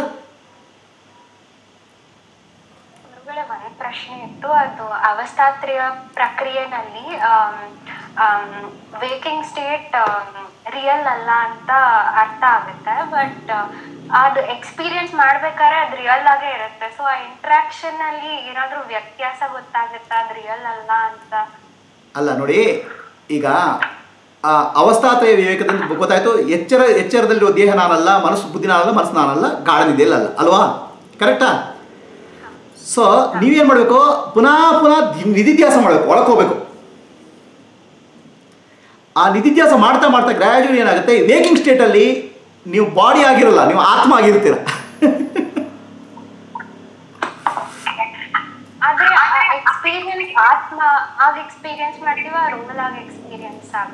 ಏನಾಗುತ್ತೆ? ಏನಾಗುತ್ತೆ? ಅಲ್ಲ ಆತ್ಮ ಆತ್ಮ ಸಿ ಏನಾಗುತ್ತೆ? ದೇಹ ನಾ ಈಗ ಏನಾಗ್ಬಿಡಿ ದೇಹ ನಾನಾಗ್ಬಿಟ್ಟಿದ್ದೇನೆ. ಆಯ್ತಾ? ಆವಾಗ ಏನಾಗುತ್ತೆ ಗ್ರ್ಯಾಜುವಲಿ ನಾನು ಆತ್ಮ, ನಾನು ದೇಹ ಇಸ್ ಇನ್ಸ್ಟ್ರೂಮೆಂಟ್ ಅಂತ ಗೊತ್ತಾಗ್ತದೆ. ಏನಾದ್ರೆ ಉಲ್ಟಾ ಆಗ್ಬಿಡ್ತದೆ. ಏನೋ? ಈಗ I have become the body ನಾನು ದೇಹ ಆಗ್ಬಿಟ್ಟಿದ್ದೇನೆ. But body is a just instrument vehicle gradual ಏನಾಗುತ್ತೆ? ನಿಮಗೆ ಅದು ನಾನು ಸಾಕ್ಷಿ ಆಗ್ತಾ ಇದ್ದಾಗೆ ಓ ಬಾಡಿ ಇಸ್ ಮೈ ಇನ್ಸ್ಟ್ರೂಮೆಂಟ್ ಆಯ್ತಾ? ಅಂತ ಗೊತ್ತಾಗುತ್ತೆ. ಈಗ ಫಾರ್ ಎಕ್ಸಾಂಪಲ್ ನನ್ನ ಗ್ಲಾಸಸ್ ಇದೆ, ಅಲ್ವಾ? ನಾನು ಗ್ಲಾಸಸ್ ಇದೆ ಅಂತ ನನಗೆ ಗೊತ್ತಾಗಲ್ಲ ಮರೆತು ಹೋಗ್ಬಿಡ್ತದೆ ಅವಾಗ ಗ್ಲಾಸಸ್ ಹ್ಯಾವ್ ಬಿಕಮ್ ಐಸ್ ಹೋ ದಿಸ್ ಗ್ಲಾಸ್ ಅಂತ ಹೇಳ್ಬೋದು the glass is my instrument ಅಂತ ಗೊತ್ತಾಗುತ್ತೆ. ಸೊ ಗ್ರ್ಯಾಜುವಲ್ ಏನಾಗ ಆತ್ಮದಾನ ಬರ್ತಾ ಇದ್ದಾಗೆ body and mind is my instrument ಅಂತ ಆ ಸಪ್ರೇಷನ್ ಆಗುತ್ತೆ. ಗೊತ್ತಾಯ್ತಾ? ಆವಾಗ ಏನಾಗುತ್ತೆ? ನಿಧಾನವಾಗಿ ಮೈಂಡ್ ವಿಲ್ ಬಿ ಆವಾಗ nothing in the world disturbs you anything happens to the instrument only it doesn't happen to ಆತ್ಮ ಆತ್ಮಕ್ಕೆ ಏನೂ ಆಗಲ್ಲ so gradually start developing the detachment and peace okay ನಿಮ್ಗೆ ಇದರಲ್ಲಿ ಏನಾಗಲ್ಲ ಈ ಒಂದು ಪರ್ಸೆಪ್ಷನ್ ಏನು ಚೇಂಜ್ ಆಗಲ್ಲ. ಬಟ್ ಅಂಡರ್ಸ್ಟ್ಯಾಂಡಿಂಗ್ ಚೇಂಜ್ ಆಗುತ್ತೆ. ಗೊತ್ತಾಯ್ತಾ? ಓಕೆ ಗುರುಜಿಯವರೇ ಯಾರದು? ಕೈತಿ ನಾನು ರಮಣಿ. ಅವರು ಶ್ರೀನಿವಾಸ್ ಶಾಸ್ತ್ರಿ ಏನೋ ಕ್ವಶನ್ ಕೇಳಕ್ ಆವಾಗ್ಲಿಂದ ಪ್ರಯತ್ನ ಮಾಡ್ತಾ ಇದ್ದಾರೆ. ಎಲ್ಲಿದ್ದಾರೆ ಅವ್ರು? ಕಾಣ್ತಾ ಇಲ್ಲ ನನಗೆ. ಇದ್ದಾರೆ ಅವರು. ಹಾಂ ಓಕೆ. ಹಾಂ ಓಕೆ ನನ್ನ ಸ್ಕ್ರೀನಲ್ಲಿ ಕಾಣ್ತಾ ಇಲ್ಲ. ಓಕೆ. ಹಾಂ ಓಕೆ. ಹಾಂ ಶ್ರೀನಿವಾಸ್ ಅವರ ಕೈ ಹೇಳಿ. ಅನ್ಮ್ಯೂಟ್ ಮಾಡಿ. ಅನ್ಮ್ಯೂಟ್ ಮಾಡಬೇಕು. ಅವ್ರು ಅನ್ಮ್ಯೂಟ್ ಮಾಡಿಲ್ಲ. ಶ್ರೀನಿವಾಸ್ ಅವರೇ ನೀವು ಮ್ಯೂ ಅನ್ಮ್ಯೂಟಲ್ಲಿ ಇದ್ದೀರಾ? ಅನ್ಮ್ಯೂಟ್ ಮಾಡಬೇಕು. ಕೇಳ್ತಾ ಇಲ್ಲ. ಅವ್ರ question is what is transcendental meditation ಅಂತ. ಪ್ರಶ್ನೆ ಟ್ರಾನ್ಸೆಂಡೆಂಟಲ್ ಮೆಡಿಟೇಷನ್ ಅಂದ್ರೆ ಏನು ಅಂತನಾ? ಓಕೆ ಅದು ಮಹೇ, ಮಹರ್ಷಿ ಮಹೇಶ್ ಯೋಗಿಗಳು ಟ್ರಾನ್ಸೆಂಡೆಂಟಲ್ ಮೆಡಿಟೇಷನ್ ಅಂತ ಹೇಳಿದರು. Okay that's a practice which E taught in America and many part of the world transcendental medi meditation ಅಂತ. ಟ್ರಾನ್ಸೆಂಡ್ ಅಂತ ಏನದು? The body mind and intellect is what we are and ಸಾಕ್ಷಿ ಅವರ ಆತ್ಮ is transcendent body mind intellect ಸಾಕ್ಷಿ ಇದೆಯಲ್ಲ? ಅದು body mind intellect ಅಂತ ದಾಟಿದ್ದು. ಆತ್ಮ. So the taking the mind to ಆತ್ಮ is called transcendental meditation and how do you take the mind to ಆತ್ಮ ರಮಣ ರಮಣ ಮಹರ್ಷಿಗಳ ಟೀಚಿಂಗ್ ಪ್ರಕಾರ ಹೂ ಆಮ್ ಐ ಎನ್ಕ್ವೈರಿ ಅಂತ ತಗೋಬೇಕು. ನಾನು ಯಾರು ಅಂತ ಪ್ರಶ್ನೆ ಮಾಡಿ you to go beyond the mind see waking state dream state deep sleep state ಜಾಗೃತ ಸ್ವಪ್ನ, ಸುಷುಪ್ತಿ. ಇಲ್ಲೇನಾಗಿದೆ ನಮಗೆ we have a body mind but ನಾನು I am the Sakshi. Of the body and mind is it clear ಅದು clear ನಿಮಗೆ? So it ಇದು ಜ್ಞಾನ ಮಾರ್ಗ. ಜ್ಞಾನ ಮಾರ್ಗದಲ್ಲಿ ನಾನು ಸಾಕ್ಷಿ ನಿಮ್ಗೆ ಇಮಿಡಿಯೇಟ್ ಗೊತ್ತಾಗ್ಬಿಡ್ತದೆ. ಮೊದಲೇ ಗೊತ್ತಾಗ್ಬಿಡ್ತದೆ. ಟ್ರಾನ್ಸೆಂಡೆಂಟ್ ಮೆಡಿಟೇಷನ್ ಏನು ಗೊತ್ತಾಗುತ್ತೆ? ನೀವು ಪ್ರಾಕ್ಟೀಸ್ ಮಾಡ್ತಾ ಮಾಡ್ತಾ ಮಾಡ್ತಾ ಗ್ರ್ಯಾಜ್ ನಿಮ್ಗೆ ಅಂಡರ್ಸ್ಟ್ಯಾಂಡ್ ಬರಲಿಕ್ಕೆ ಸಾಗೋದೆ. ಓ, ನಾನು ಟ್ರಾನ್ಸೆಂಡ್ ನಾನು ಸಾಕ್ಷಿ ಅಂತ. ಅಲ್ಲಿ ಒಂದು ಮಂತ್ರ ಜಪ ಮಾಡ್ತೀರಾ ಟ್ರಾನ್ಸೆಂಟ್ ಮೆಡಿಟೇಷನಲ್ಲಿ ಓಂ ಓಂ ಓಂ ಅಂತ? ಅದು ಯಾವುದೋ ಒಂದು ಜನ್ ಮಂತ್ರ ಮಾಡ್ತಾ ಮಾಡ್ತಾ ಮೈಂಡ್ ಸೈಲೆಂಟ್ ಆಗುತ್ತೆ. ಗ್ರ್ಯಾಜುಲಿ ಯು ಸ್ಟಾರ್ಟ್ ಬಿಗಿನಿಂಗ್ ಸಾಕ್ಷಿ. ಈ ವಿಚಾರ ಮಾರ್ಗದಲ್ಲಿ ನೀವು ಆತ್ಮ ವಿಚಾರ ಮಾಡ್ತಾ ಮಾಡ್ತಾ I am not the mind I am not the body I am not the mind I am ಸಾಕ್ಷಿ ಅಂತ ಗೊತ್ತಾಗಿಲ್ಲ ಅಂದ್ಕೊಳ್ಳಿ ನಿಮ್ಗೆ ಶಿಫ್ಟ್ ಆಗಿಬಿಡ್ತದೆ ದಟ್ಸ್ ಕಾಲ್ಡ್ ವಿಚಾರ ಮಾರ್ಗ. ಧ್ಯಾನ ಮಾರ್ಗದಲ್ಲಿ ಅದನ್ನೇ ಧ್ಯಾನ ಮಾಡ್ತಾ ಮಾಡ್ತಾ ಮಾಡ್ತಾ ಮಾಡ್ತಾ ಹೋಗ್ತಾರೆ. ಸೊ ಆಕ್ಚುಲಿ ವಿಚಾರ ಮಾರ್ಗ is more direct way of transcending the mind ನಿಮ್ಮ ಪ್ರಶ್ನೆ ಉತ್ತರ ಸಿಗ್ತಾ? ವಿಚಾರ ಮಾರ್ಗ ಮಾಡಿದ ನಂತರ ವಿಚಾರ ಮಾಡ ವಿಚಾರ ಮಾಡಲಿಕ್ಕೆ ನಾವು ಹೋದ ನಂತರ ಈ ಧ್ಯಾನ ಮಾರ್ಗ ಈ ಧ್ಯಾನ ಮತ್ತೆ ಪೂಜೆ ಜಪ ತಪ ಅದೆಲ್ಲ ಏನು ಬೇಕಾಗೋದಿಲ್ಲ ಮಾತ್ರಗಳೇ ಆ, ಅದಕ್ಕೆ ಉತ್ತರ ಹೇಳ್ತೇನೆ ನಾನು. ಮೊದಲು ಶ್ರೀನಿವಾಸ ಶಾಸ್ತ್ರಿಗಳ ಪ್ರಶ್ನೆಗೆ ಉತ್ತರ ಕಂಪ್ಲೀಟ್ ಆಗಿದೆ. ಶ್ರೀನಿವಾಸ ಶಾಸ್ತ್ರಿಗಳ ನಿಮ್ಮ ಪ್ರಶ್ನೆಗೆ ಉತ್ತರ ಸಿಗ್ತಾ ಅಥವಾ ಇನ್ನೂ ಉತ್ತರ ಸಿಕ್ಕಿಲ್ವಾ? Okay okay fine so Rao ಅವರು ನಿಮ್ಮ ಪ್ರಶ್ನೆ ಏನು ಕೇಳಿದ್ರಿ ಈ ಈ ಧ್ಯಾನ ಜಪ ತಪ ಇದರ ಒಟ್ಟಿಗೆ ನಾವು ವಿಚಾರ ಮಾರ್ಗಕ್ಕೆ ಈ ಸ್ವಲ್ಪ ಹಂತಕ್ಕೆ ಮುಂದಕ್ಕೆ ಹೋದಾಗ ಮತ್ತೆ ಇದೆಲ್ಲ ಈ ಜಪ ತಪ ಮತ್ತೆ ಇವೆಲ್ಲ ಪೂಜೆ ಇವೆಲ್ಲ ನಾವು ಮಾಡ್ತಾನೆ ಇರ್ಬೇಕಾಗತ್ತಾ ಎವರಿ ಪ್ರತಿ ದಿವಸ? ಅಥವಾ ಬರೇ ಧ್ಯಾನ ಜಪ ಮತ್ತೆ ಮೆಡಿಟೇಷನ್ ಹಾಗೆ ಮುಂದಕ್ಕೆ ಹೋಗ್ಬೇಕಾಗ ಇದು ನೋಡಿ ಸರ್ ಇದು ಬಹಳ ಸರಳ. ಬಹಳ ಸುಲಭ. ನಾವು ಸಣ್ಣದಾಗಿದ್ದಾಗ ಗೋಲಿ ಆಡ್ತಾ ಇದ್ವಿ. ಗೋಲಿ. ಆಯ್ತಾ? ಕಡೆಗೆ ಸ್ವಲ್ಪ ಹೊತ್ತಾದ್ಮೇಲೆ ಸೈಕಲ್ ಆಡ್ಲಿಸ್ ಮಾಡಿದೆ. ಕಡೆಗೆ ಕಾರ್ ಶುರು ಮಾಡಿದೆ. ಈಗ ಗೋಲಿ ಆಡ್ತೀರಾ ನೀವು? ಅದನ್ನ ಅಂದ್ರೆ ಆಡ್ಬೇಕಂದ್ರೆ ಆಡ್ಬೋದು ಬಟ್ ಅದು ತಕ್ಷಣ ಬಿಟ್ಟು ಹೋಗ್ಬಿಡ್ತದೆ. ಹಾಗೆ ನಿಮ್ಗೆ ಯಾವಾಗ ಏನಾಗುತ್ತೆ? ನಿಮಗೆ higher and higher level practice ಬರ್ತಾ ಇದೆ. ಲೋವರ್ ಲೆವೆಲ್ ಪ್ರಾಕ್ಟೀಸ್ ತನಕ ಬಿಟ್ಟು ಹೋಗ್ತವೆ. ಇದು ಹೇಗೆಂದ್ರೆ ಗೋಲಿ ಆಟದ ಗೊಂಬೆ ಸೈಕಲ್ಲು ಸೈಕಲ್ ಆಯಿತು ಕಡೆ ಕಾರ್ ಬಂತು. ಕಾರ್ ಬಂದ್ರೆ ದೊಡ್ಡ ಕಾರ್ ಬಂತು. ನೀವು ಪುನಃ ಸಣ್ಣ ಕಾರಿಗೆ ಹೋಗಲ್ಲ. So ಅವಾಗೇನೋ it's gradual process natural process ಅದು. ನಿಮಗೆ ಧ್ಯಾನದಲ್ಲಿ ನೀವು ಡೀಪರ್ ಆ್ಯಂಡ್ ಡೀಪರ್ ಹೋಗ್ತಾ ಇದ್ದಾಗೆ ಬೇರೆ ಪ್ರಾಕ್ಟೀಸಸ್ ಕಡಿಮೆ ಆಗ್ತವೆ. ಮಾಡ್ಬೋದು ನೀವು ಮಾಡಬಾರ್ದು ಅಂತೇನಿಲ್ಲ ಬಟ್ ತನ್ನಷ್ಟಾನೆ ಅದರಲ್ಲಿ ಇಂಟ್ರೆಸ್ಟ್ ಕಡಿಮೆ ಆಗುತ್ತೆ. ಅಲ್ಲ ಈಗ ಪ್ರಭುಗಳ ಈಗ ವಿವೇಕ ಚೂಡಾಮಣಿ ಮತ್ತೆ ಸಿದ್ಧಾರೂಢ ಮಹಾತ್ಮೆ ಇವೆಲ್ಲ ಬುಕ್ಕು ಈಗ ಪ್ರವಚನಗಳಿಂದ ಮತ್ತೆ ಈ ನಾನು ನಾನಲ್ಲ ಇದೆಲ್ಲ ನಾವು ತಿಳಿದ ನಂತರ ಸಹಿತ ಈ ಮತ್ತೆ ಈ ಬುಕ್ಗಳನ್ನೆಲ್ಲ ನಾವು ಫಾಲೋ ಮಾಡಕ್ಕೆ ಮತ್ತೆ ಅದಕ್ಕೆ ಟೈಮ್ ವೇಸ್ಟ್ ಮಾಡಬೇಕಾ? ಅಲ್ಲಲ್ಲ ಅದು ಬೇಡ? ಅಲ್ಲಲ್ಲ ಅಲ್ಲಿ ಅದು ನಿಮ್ಗೆ ಗೊತ್ತಾಗುತ್ತೆ ಅಂತ ಹೇಳ್ತಾ ಇದ್ದೇನೆ. ಪ್ರಶ್ನೆಗೆ ನಿಮಗೆ ಪ್ರಶ್ನೆಗೆ ನೋಡಿ ನಿಮ್ಮ ಮುಂದೆ ಅಲ್ಲ ಪ್ರತಿಯೊಂದು ಇಷ್ಟು ಇದು ಏನೋ ಒಂದು ಆನಂದ ಸಿಕ್ಕತ್ತೆ. ಈಗ ಒಂದು ನಾಲ್ಕು ದಿವಸ ಪೂಜೆ ಮಾಡಿಲ್ಲ ನಾಲ್ಕು ದಿವಸ ಧ್ಯಾನ ಮಾಡಿಲ್ಲ. ಒಂದು ಐದನೇ ದಿವಸ ಆರನೇ ದಿವಸ ಏನೋ ಒಂದು ಕಳ್ಕೊಂಡ. ಅಲ್ಲ ಅಲ್ಲೇ ಏನಾಗಿದೆ? ಅಲ್ಲಿ ಏನಾಗಿದೆ? ನಿಮ್ಮ ಮನಸ್ಸು ಇದು ನೋಡಿ ಇದು ಇದನ್ನು ಅರ್ಥ ಮಾಡ್ಕೊಳ್ಳಿ. ಮನಸ್ಸು ಇದೆಯಲ್ಲ ಮನಸ್ಸಿನ ನೇಚರ್ ಏನಂದ್ರೆ ಅದು ಅದಕ್ಕೆ ಹೈಯರ್ ಲೆವೆಲ್ ಆನಂದ ಸಿಕ್ಕಿದಾಗ ಲೋವರ್ ಲೆವೆಲ್ ಆನಂದ ಬಿಟ್ಬಿಡ್ತದೆ. ಹೌದಲ್ವಾ? ಈಗ ಒಂದು ನಿಮಗೆ ಈಗ ನಿಮಗೆ ಒಂದು ಲೋವರ್ ಲೆವೆಲ್ ಇದು ಲೋವರ್ ಲೆವೆಲ್ ಆನಂದ ಇದು ಹೈಯರ್ ಲೆವೆಲ್ ಆನಂದ. ಇದು ಹೈಯರ್ ಲೆವೆಲ್ ಆನಂದ ಸಿಕ್ಕಿದಾಗ ಲೋವರ್ ಲೆವೆಲ್ ಆನಂದ ಬಿಟ್ಬಿಡ್ತದೆ ಅದು. ಕರೆಕ್ಟಾ? ಅರ್ಥ ಆಯ್ತಾ? ಸೊ ಏನಾಗುತ್ತೆ? ನಿಮಗೆ ಆಧ್ಯಾತ್ಮಿಕ ಮುಂದುವರೆದಾಗೆ ನಿಮಗೆ ಹೈಯರ್ ಲೆವೆಲ್ ಆನಂದ ಎಲ್ಲಿ ಸಿಗುತ್ತೆ ಅಂತ ಗೊತ್ತಾಗ್ತಾ ಹೋಗುತ್ತೆ. ಆವಾಗ ಲೋವರ್ ಲೆವೆಲ್ ಬಿಟ್ಬಿಡ್ತೀರಾ? ಅದು ನ್ಯಾಚುರಲ್ ಆಗಿ ಬಿಡ್ತೀರಾ?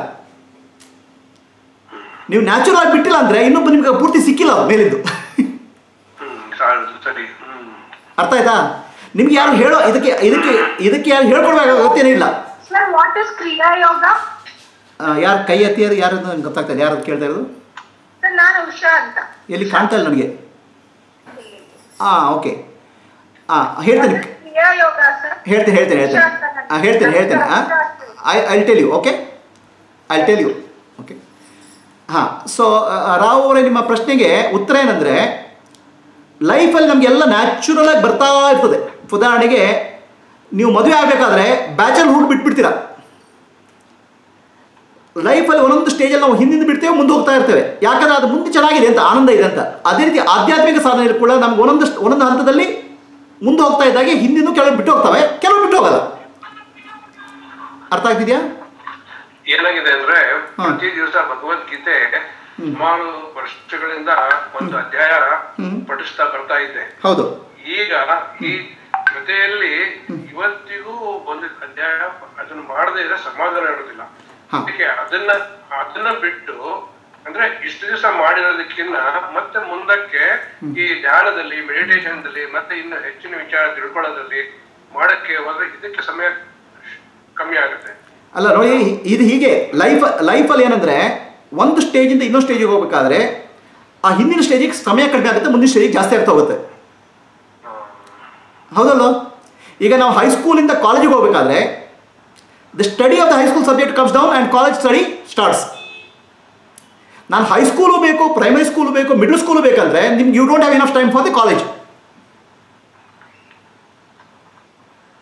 ಲೈಫಲ್ಲಿ ನಮ್ಮ ಟೈಮ್ ಲಿಮಿಟ್ ಇರ್ತಾನೆ ಖಂಡಿತ. So the entire spiritual journey ಅಂದರೆ it starts from the outer then it goes inner then it goes beyond transcendent ನೀವು ಪುನಃ ಟ್ರಾನ್ಸೆಂಡಿಂಗ್ ಪುನಃ ಔಟ್ರಿಗೆ ಬರಬೇಕಾದ್ರೆ you are coming to from college to primary school ಅರ್ಥ ಆಗ್ತಿದೆ ನಾನು ಹೇಳ್ತಾ ಇರೋದು? ಸೊ ಏನಾಗುತ್ತೆ? ನಮಗೆ ವಿ ಆರ್ ಆಕ್ಚುಲಿ ನಮ್ಗೆ ಇಲ್ಲಿ ಏನಾಗುತ್ತೆ? Because I have studied Bhagavad Gita many years I accustomed that habit pattern of the mind a habit is pulling you down. But really as you get into ಧ್ಯಾನ all all these things start coming down because you are getting into higher and higher deeper and deeper. The purpose of bhagavad gita is not to take you read bhagavad gita. Purpose of bhagavad gita is to go through atma deeper and deeper. ಸರಿ ಪ್ರಭುಗಳೇ. Okay so it is a natural process ಏನು ಭಾಳ ಕಷ್ಟಪಡಬೇಕಾಗಿಲ್ಲ natural ಆಗಿ ಬರ್ತಾ ಹೋಗುತ್ತೆ. Okay so yeah Usha ರಾಣಿಯವರು ನೀವೇನು ಪ್ರಶ್ನೆ ಕೇಳಿದ್ರಿ? ಕ- ಕ್ರಿ- ಕ್ರಿಯಾಯೋಗ ಅಂತ ಹೇಳಿದ್ರೆ ನೋಡಿ ಮೂ ನಮಗೆ ಯೋಗ ಒಂದು ನಿಮಿಷ. ಹಾ ಯೋಗ ಅಂದ್ರೇನು? ಜೀವಾತ್ಮ ಪರಮಾತ್ಮನ ಸೇರೋದೇ ಯೋಗ ಹೌದಾ? ಹಾಂ? ನಮ್ಗೆ ಈಗ ನಮಗೇನಾಗಿದೆ? ನಾನು ಬೇರೆ ಭಗವಂತ ಬೇರೆ ನಾನು ಬೇರೆ ಪ್ರಪಂಚ ಬೇರೆ ನಾನು ಬೇರೆ ಅಂತ ಬೇರೆ ಬೇರೆ ಭಾಗ ಭಾಗ ಆಗಿದೆ. ಅದಕ್ಕೆ ದ್ವೈತ ಅಂತ ಹೇಳೋದು. ಹೌದಾ? ನಮಗೆ ಆನಂದ ಯಾವಾಗ ಆಗೋದು? ದ್ವೈತ ಇದ್ದು ಹೋಗಿ ಅದ್ವೈತ ಆಗಬೇಕು ಆನಂದ ಆಗುತ್ತದೆ. ಅಂದರೆ ಒಂದಿದ್ದದ್ದು, ಎರಡಿದ್ದದ್ದು ಒಂದಾಗಬೇಕು. ಅಲ್ವಾ? ಆ ಎರಡಿದ್ದದ್ದು ಒಂದಾಗೋದಕ್ಕೆ ಯೋಗ ಅಂತ ಹೇಳೋದು ಅರ್ಥ ಆಯ್ತಾ? ಆ ಯೋಗಕ್ಕೆ ಹಲವಾರು ಹಂತ ವಿಧಾನಗಳು. ಮೆಥಡ್ಸ್ ಕರೆಕ್ಟಾ ಸೋಡಿ ನಮಗೆ ಮನುಷ್ಯನಿಗೆ ಹೆಡ್ ಇದೆ. ಹೆಡ್ ತಲೆ. ಹಾರ್ಟ್ ಇದೆ. ಹ್ಯಾಂಡ್ಸ್ ಇದೆ. ರೈಟ್ ಹೆಡ್ ಹಾರ್ಟ್ ಹ್ಯಾಂಡ್ಸ್ ಮತ್ತು ಎನರ್ಜಿ ನಾಲ್ಕಿದೆಯಾ? ಹಾಂ. ಸೊ ನಾವು ಹ್ಯಾಂಡ್ಸ್ ಅಂದರೆ ನಮ್ಮ ಕೈಯನ್ನು ಅಂದರೆ ಕೈ ಅಂದರೆ ಕೆಲಸ. ಕೆಲಸವನ್ನು ನಾವು ಸರ್ವೀಸ್ ಆಗಿ ಮಾಡಿದರೆ ಭಗವಂತನ ಸೇವೆಯಾಗಿ ಮಾಡಿದರೆ ಅದು ಕರ್ಮಯೋಗ ಆಗ್ತದೆ. ಅಂದರೆ ಭಗವಂತನಿಗೆ ಸೇರಲಿಕ್ಕೆ ಕಾಯಕವೇ ಕೈಲಾಸ ಆದಾಗ ಭಗವಂತನಿಗೆ ಸೇರಲಿಕ್ಕೆ ಅವಕಾಶ ಅನುಕೂಲ ಆಗ್ತದೆ. ಕರ್ಮಯೋಗ ಆಗ್ತದೆ. ಆಯಿತಾ? ಅದಕ್ಕೆ ಕರ್ಮಯೋಗ ಅಂತೇಳಿ. ಯಾಕಂದರೆ ಕೆಲಸ ಹ್ಯಾಂಡ್ಸ್ ರೈಟ್ ಹಾರ್ಟಿಗೆ ಏನಾಗುತ್ತೆ? ಹಾರ್ಟ್ ಹಾರ್ಟ್ ಅಂದ್ರೆ ಏನು? ಹಾರ್ಟ್ ಅಂದ್ರೆ ಹಾರ್ಟ್ ಅಂದ್ರೆ ಏನು? ಎಮೋಷನ್ಸ್ ಆಯ್ತಾ? ನೀವು ಎಮೋಷನ್ಸಿಂದ ಭಗವಂತನಿಗೆ ಸೇವೆ ಮಾಡಿದರೆ, ಭಜನೆ, ಪ್ರಾರ್ಥನೆ ಮಾಡಿದರೆ ಅದು ಭಕ್ತಿ ಯೋಗ ಆಗ್ತದೆ.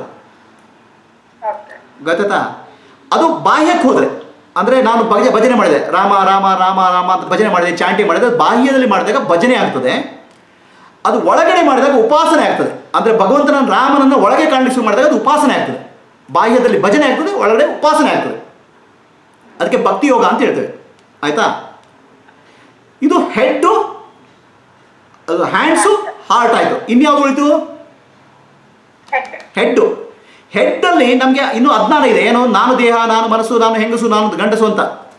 ಆ ಅಜ್ಞಾನ ಹೋಗಬೇಕು. ಹೌದಲ್ಲ? ಆ ಅಜ್ಞಾನ ಹೋಗ್ಬೇಕಾದ್ರೆ ಜ್ಞಾನ ಬರಬೇಕು. ಆ ಜ್ಞಾನ ಹೇಗೆ ಬರ್ತದೆ? ಜ್ಞಾನ ಬರೋದು ಮೆಡಿಟೇಷನ್ ಉಪಾಸನೆಯಲ್ಲೇ ಬಂದ್ಬಿಡ್ತು. ಉಪಾಸನ ಹಾರ್ಟಲ್ಲೇ ಬಂದ್ಬಿಡ್ತು, ಉಪಾಸನೆಯಲ್ಲಿ. ಸೊ ಜ್ಞಾನ ಬರ್ತದೆ? ಆತ್ಮ ವಿಚಾರ ಮಾಡಬೇಕು. ನಾನು ಯಾರು ಅಂತ ತಿಳ್ಕೋಬೇಕು. ಆಯ್ತಾ? ನಿಧಾನವಾಗಿ ದೇಹ ನಾನಲ್ಲ, ಮನಸ್ಸು ನಾನಲ್ಲ, ಬುದ್ಧಿ ನಾನಲ್ಲ, ನಾನು ಆತ್ಮ ಅಂತ ಜ್ಞಾನ ಬರಬೇಕು. ಅದಕ್ಕೆ ಶ್ರವಣ ಮಾಡಬೇಕು, ಕೇಳಬೇಕು. ಏನನ್ನ? ಜ್ಞಾನ. ಆಯ್ತಾ? ಎಂಥ ಜ್ಞಾನ? ವೇದಾಂತ ಜ್ಞಾನ. ಏನು ಮಾಡಬೇಕು? ವಿಚಾರ ಮಾಡಬೇಕು. ನಾನು ಯಾರು ಅಂತ ವಿಚಾರ ಮಾಡಬೇಕು. ಆತ್ಮ ವಿಚಾರ ಮಾಡಬೇಕು. ಗೊತ್ತಾಯ್ತಾ? ಇದು ಹೆಡ್ ಮತ್ತೇನು ಉಳಿತು? ಎನರ್ಜಿ ರೈಟ್ ನಿಮ್ಮ ಬ್ರೀತಿಂಗ್ ಇದೆ. ನೋಡಿ, ಉಸಿರಾಟ ಆಗ್ತದೆ. ನಿಮ್ಮ ಹಾರ್ಟ್ ಬೀಟ್ ಆಗುತ್ತೆ. ಪ್ರಾಣಾಯಾಮ ಮಾಡ್ತೀರಾ? ಆ ಪ್ರಾಣಾಯಾಮದ ಮೂಲಕ ಮನಸ್ಸನ್ನು ಶಾಂತ ಮಾಡ್ಲಿಕ್ಕೆ ಕಲ್ತು ಪ್ರಾಣಾಯಾಮ ಅಂತ ಬೇರೆ ಬೇರೆ ರೀತಿ ಇದೆ. ಬೇರೆ ಬೇರೆ ಸಿಸ್ಟಮ್ ಇದೆ ಅದರಲ್ಲಿ. ಮನಸ್ಸನ್ನು ಶಾಂತ ಮಾಡ್ಲಿಕ್ಕೆ ಕಲ್ತ್ರೆ ಅದಕ್ಕೆ ಕ್ರಿಯಾಯೋಗ ಅಂತ ಹೇಳ್ತೇವೆ ಹೆಡ್ ಹಾರ್ಟ್ ಹ್ಯಾಂಡ್ಸ್ ಎನರ್ಜಿ ಗೊತ್ತಾಯ್ತಾ? ಹಾ ಎನರ್ಜಿಯಿಂದ ಮಾಡೋದನ್ನ ಕ್ರಿಯಾಯೋಗ ಅಂತ ಹೇಳ್ತೀವಿ. ಆಯ್ತಾ? ನಮ್ಮ ನಮ್ಮ ಇಲ್ಲಿ ಯಾವ ನಾವು ಏನ್ ಮಾಡ್ತಿದ್ವಿ ನಾವು ಈಗ ಇದ್ಯಾವ ಇದ್ಯಾವ ಯೋಗ ಇದು? ನಾನು ಹೇಳ್ತಾ ಇರೋದು? ಹೆಡ್ ವಿಚಾರ ಮಾರ್ಗ ಜ್ಞಾನ ಮಾರ್ಗ. ಆಯ್ತಾ? ಇದ್ರ ಒಂದು ಒಳ್ಳೇದು ಒಂದು ಕೆಟ್ಟದ್ದು ಏನಿಲ್ಲ. ಬಟ್ ನಮ್ಮ ಸಿಸ್ಟಮ್ ಇದು. ಆಯ್ತಾ? ಈಗ ಗೊತ್ತಾಯ್ತಾ ನಿಮಗೆ? ನಮ್ಮ ನಮಗೆ ನಮ್ಮ ಸಿಸ್ಟಮಲ್ಲಿ ಜ್ಞಾನ ಪ್ರಧಾನ ವಿಚಾರ ಪ್ರಧಾನ. ಬಟ್ ನಾನು ನಿಮಗೆ ಕೆಲವು ಪ್ರಾಕ್ಟೀಸ್ ಹೇಳ್ಕೊಡ್ತೇನೆ ಅದು ಕ್ರಿಯಾಯಿಂದ ಬರೋದು. ನಮಗೆ ಜ್ಞಾನ ಮುಖ್ಯ ಕ್ರಿಯಾ ಸೆಕೆಂಡರಿ ವೆರಸ್ ಕ್ರಿಯಾಯೋಗದಲ್ಲಿ ಹೋಗೋರಿಗೆ ಕ್ರಿಯಾ ಮುಖ್ಯ ಜ್ಞಾನ ಸೆಕೆಂಡರಿ ಅರ್ಥ ಆಯ್ತಾ? ಆ ಎಲ್ಲ ದಾರಿ ದೇವರಿಗೆ ಹತ್ರ ಅಲ್ಲ. ಜ್ಞಾನದಿಂದ ಮುಕ್ತಿ. ಭಕ್ತಿ ಯೋಗ ಕರ್ಮಯೋಗ ಕ್ರಿಯಾಯೋಗದಿಂದ ಮನಸ್ಸು ಶುದ್ಧಿ. ಜ್ಞಾನದಿಂದ ಮುಕ್ತಿ. ಜ್ಞಾನವಿಲ್ಲದಿರೋ ಮುಕ್ತಿ ಇಲ್ಲ. ಓಕೆ ಎಲ್ಲ ದಾರಿಗಳು ಹೋಗಿ ಸೇರು ಜ್ಞಾನ ಮಾರ್ಗಕ್ಕೆ. ಗೊತ್ತಾಯ್ತಾ? ಅರ್ಥ ಆಯ್ತಾ? ನಿಮಗೆ ಕ್ರಿಯಾ ಕ್ರಿಯಾ ಕ್ರಿಯಾಯೋಗದ ಬಗ್ಗೆ ಚೆನ್ನಾಗಿ ತಿಳ್ಕೊಬೇಕಾದ್ರೆ ನಾನು ಪ್ರತಿ ಶುಕ್ರವಾರ ಓಕೆ ಪ್ರತಿ ಶುಕ್ರವಾರ ಈ ಶುಕ್ರ ಈ ಶುಕ್ರವಾರ ಲಿವಿಂಗ್ ಇನ್ ದ ಅವೇರ್ನೆಸ್ ಒಂದು ಲೆಕ್ಚರ್ ಕೊಡ್ತಾ ಇದ್ದಾನೆ. ಅದು ಶಿವಸೂತ್ರ ಶಿವ ಹೇಳುವ ಕ್ರಿಯಾಯೋಗ ಮಾರ್ಗ. ಅದನ್ನು ಕೇಳಿ. ಆಯ್ತಾ? ಕಡೆಗೆ ಕಡೆಗೆ ಓಕೆ ಯಾರು? ಯಾರು ಕೈ ಎತ್ತಿಯಪ್ಪ? ಹಾ ಕತೆ ನೀವು ಹಾ ಹೇಳಿ. ಅದು ಮೆಡಿಟೇಷನ್ ಈಗ ಮೆಡಿಟೇಷನ್ ಮಾಡುವಾಗ. ಕಾನ್ಸಂಟ್ರೇಷನ್ ಆಜ್ಞಾ ಚಕ್ರದಲ್ಲಿ ಇರಿ ಅಂತಾರೆ. ಇಲ್ಲ ಹೃದಯದಲ್ಲಿ ಇರ್ಬೇಕು. ಯಾವ್ದ್ರಲ್ಲಿ ಅದು ಮಾಡಿದ್ರು. ಹೇಳ್ತೇನೆ. ಓಕೆ ನೋಡಿ ನಮ್ಮ ಮನುಷ್ಯನಿಗೆ ಎಚ್ಚರದಲ್ಲಿ ಎಚ್ಚರದಲ್ಲಿ ಪ್ರಜ್ಞೆ ಎಲ್ಲಿರ್ತದೆ? ಎಚ್ಚರ ಇದ್ದಾಗ ಜಾಗೃತ ಸ್ಥಿತಿಯಲ್ಲಿ. ಕಣ್ಣು, ಮುಖ, ಹೌದಲ್ಲ? ಕರೆಕ್ಟ್ ಅಲ್ಲ? ಎಚ್ಚರದಲ್ಲಿ. ಆವಾಗ ಆ ಎಚ್ಚರ ಸ್ಥಿತಿಗೆ ಸಂಬಂಧಪಟ್ಟ ಸಾಧನೆ ಇಲ್ಲಿ. ಸ್ವ ಗಾಢನಿದ್ದೆಯಲ್ಲಿ ಎಲ್ಲಿ ಹೋಗುತ್ತೆ ಮನಸ್ಸು? ಇಲ್ಲಿ. ಹೃದಯ ಸ್ಥಾನ ಸೊ ನಾನು ನಿಮಗೆ ಎಚ್ಚರ ಸ್ಥಿತಿಯಲ್ಲಿ ಏನು ಸಾಧನೆ ಮಾಡಬೇಕು? ಎಚ್ಚರ ಸ್ಥಿತಿಗೆ ಏನು ಸಂಬಂಧಪಟ್ಟ ಸಾಧನೆ ಮತ್ತು ಗಾಢನಿದ್ದೆಗೆ ಸಿದ್ಧಪಟ್ಟ ಸಂಬಂಧಪಟ್ಟ ಸಾಧನೆ ಎರಡು ಹೇಳ್ಕೊಡ್ತಾ ಇದ್ದೇನೆ. ಅರ್ಥ ಆಗಿದೆಯಾ ಅಲ್ಲಿ ಮ್ಯೂಟ್ ಮ್ಯೂಟ್ ತೆಗೀರಿ ಅನ್ಮ್ಯೂಟ್ ಮಾಡಿ ಅನ್ಮ್ಯೂಟ್ ಮಾಡಿ ಅನ್ಮ್ಯೂಟ್ ಮಾಡಿ. ನೀವು ಮ್ಯೂಟ್ ತೆಗೀರಿ ಹಾಂ. ನೋಡಿ ಸಾಧನೆಯಲ್ಲಿ ಮನುಷ್ಯನಿಗೆ ಎಚ್ಚರ ಸ್ಥಿತಿಯಲ್ಲಿ ಜಾಗೃತಾವಸ್ಥೆಯ ಸಾಧನೆ ಕಡೆ ಗಾಢ ನಿದ್ದೆಯ ಸಾಧನೆ. ಗಾಢ ನಿದ್ದೆಯಲ್ಲಿ ನಮ್ಮ ಪ್ರಜ್ಞೆ ಇಲ್ಲಿ ಹೋಗಿರ್ತದೆ ಹಾರ್ಟ್ನಲ್ಲಿ ಎಚ್ಚರದಲ್ಲಿ ಇಲ್ಲಿ ಬಂದಿರ್ತದೆ. ಸರಿನಾ? ಸೊ ನಿಮಗೆ ಇಲ್ಲಿ ಸಾಧನೆ ಏನ್ ಮಾಡಿದಾಗ ಎಚ್ಚರ ಸ್ಥಿತಿಯಲ್ಲಿ ಜಾಸ್ತಿ ಅರಿವು ಬರಲಿ ಆಗುತ್ತೆ ಎಚ್ಚರ ಸ್ಥಿತಿಯಲ್ಲಿ. ಎಚ್ಚರ ಸ್ಥಿತಿಯಲ್ಲಿ. ಇಲ್ಲಿ ಸಾಧನೆ ಮಾಡಿದಾಗ ಗಾಢ ನಿದ್ದೆಯ ಬಗ್ಗೆ ಅರಿವು ಬರಲಿಕ್ಕೆ ಸಾಧ್ಯ ಆಗ್ತದೆ ಸರಿ. ಅಂದ್ರೆ ಆಳವಾದ ಮನಸ್ಸಿಂದ ಅರಿವು ಬರಲಿಕ್ಕೆ ಸಾಧ್ಯ ಆಗ್ತದೆ. ಸೊ ಅದಕ್ಕೆ ಒಂದೊಂದಕ್ಕೊಂದು ಫಲ ಇದೆ. ಓಕೆ ನೆಕ್ಸ್ಟ್ ಯಾರು ಪ್ರಶ್ನೆಪ್ಪ ಯಾರ ಏನೇ ಪ್ರಶ್ನೆ ಇದೆಯಾ ಯಾರಿಗಾದ್ರು? ಗುರುಜಿ ಅವರೇ. ಯಾರು ಕೈತಿ? ರಮಣಿ. ಹಾಂ ರಮಣ್ ಹೇಳ್ರಿ. ಹೋದ್ಸಲ ಹೋದ್ ಸಲ ಒಂದು ಪ್ರಕ್ರಿಯೆ ಹೇಳ್ಕೊಟ್ರಿ. ಅದರಲ್ಲಿ ಆ ಪ್ರಕ್ರಿಯೆಯಲ್ಲಿ ನಾನು ದೇಹ ಎಲ್ಲ ನಾನು ಐ ಮೀನ್ ಅದೇ ಆ ಪಂಚಕೋಶಗಳಲ್ಲಿ ಅನ್ನಮಯ ಕೋಶ ನಾನಲ್ಲ ಮನೋಮಯ ಕೋಶ ನಾನಲ್ಲ ಪ್ರಾಣಮಯ ಕೋಶ ನಾನಲ್ಲ ಮೂರು ನಮಗೆ ಸ್ವಲ್ಪ ಅದು ಅರ್ಥ ಆಗೋಗೆ ಆ ಪ್ರಕ್ರಿಯೆ ಹೇಳ್ಕೊಟ್ರಿ. ಹೌದು. ಸೊ ಇನ್ನು ಮುಂದಕ್ಕೆ ಏನಾದ್ರೂ ಇದೆಯಾ? ಹೌದೌದು ಇದೇ. ಇದೆ ಬೇಕಾದ್ರೆ ಇನ್ನು ಎಂಟು ಕ್ಲಾಸ್ ಮಾಡ್ಬೇಕಲ್ಲ ನಾನು ಮತ್ತೆ? ಫೋರ್ ಫಾರ್ಟಿ ಫೈವ್ ಆಯ್ತು ಅದಕ್ಕೆ. ಓಕೆ ಟೈಮ್ ಆಯ್ತು. ಓಕೆ ಸೊ ಈಗ ಪ್ರಶ್ನೆಗಳು ಸ್ಟಾಪ್ ಈಗ ಕ್ಲಾಸ್ ರಮಣಿಯವರು ಹೇಳಿದ್ದು ಒಳ್ಳೇದಾಯ್ತು. I okay think we should limit ಆ ರಮಣಿಯವರು ಅನ್ಮ್ಯೂಟ್ ಮಾಡಿ ಅನ್ಮ್ಯೂಟ್ ಮಾಡಿ ಕೇಳ್ತಾ ಇಲ್ಲ this uh, question answer also we should limit to 15 or 20 minutes only. Correct So correct that uh, you give us some subject matter and you give us some practice. Right agreed okay so so question answer limit ಮಾಡೋಣ okay So ನಾನು ನಿಮ್ಗೆ ಏನು ಮಾಡ್ತೇನೆ ಈಗ ಅನ್ನಮಯ ಕೋಶದಲ್ಲಿ ಆಜ್ಞಾ ಚಕ್ರ ತಗೊಂಡೋದೆ. ಆಜ್ಞಾ ಚಕ್ರ. ಈಗ ಅನ್ನಮಯ ಕೋಶ ಸ್ವಲ್ಪ ನೋಡೋಣ. Will will be aware of ಅನ್ನಮಯ ಕೋಶ. ಓಕೆ ನೆಕ್ಸ್ಟ್ ಕ್ಲಾಸಲ್ಲಿ ಪ್ರಾಣಮಯ ಕೋಶ ಅವೇರ್ನೆಸ್ ತಗೊಳ್ತೇನೆ. ಇವತ್ತಿನ ಕ್ಲಾಸಲ್ಲಿ ಅನ್ನಮಯ ಕೋಶ ಪುನಃ ಸ್ವಲ್ಪ ವಿವರವಾಗಿ ತಗೊಳ್ಳೋಣ. Okay so let us go into ಅನ್ನಮಯ ಕೋಶ. ಅಗೇನ್ ಕ್ಲೋಸ್ ಯುವರ್ ಐಸ್ ಕಣ್ಣು ಮುಚ್ಕೊಳ್ಳಿ.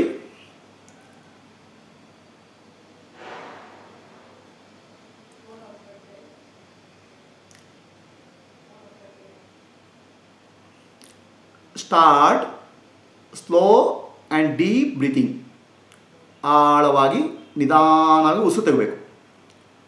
ಮಕ್ಕಳು ಉಸಿರಾಡಿದ ಹಾಗೆ, ಮಕ್ಕಳು ಹೇಗೆ ಉಸಿರಾಡ್ತಾರೆ ಹಾಗೆ. ಆಳವಾಗಿ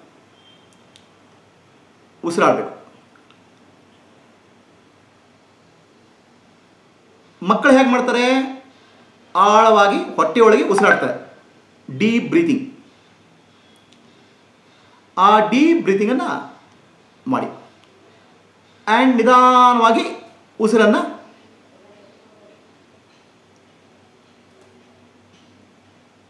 ಆಳವಾಗಿ ನಿಧಾನವಾಗಿ ಉಸಿರನ್ನು ತಗೊಳ್ಳಿ deep breathing slow breathing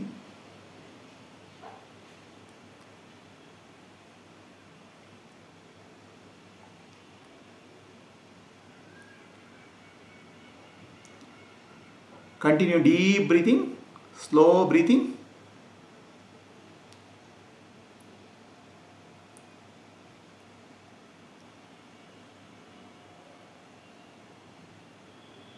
ಆಳವಾದ ಉಸಿರು ಡೀಪ್ ಬ್ರೀತಿಂಗ್ ಸ್ಲೋ ಬ್ರೀತಿಂಗ್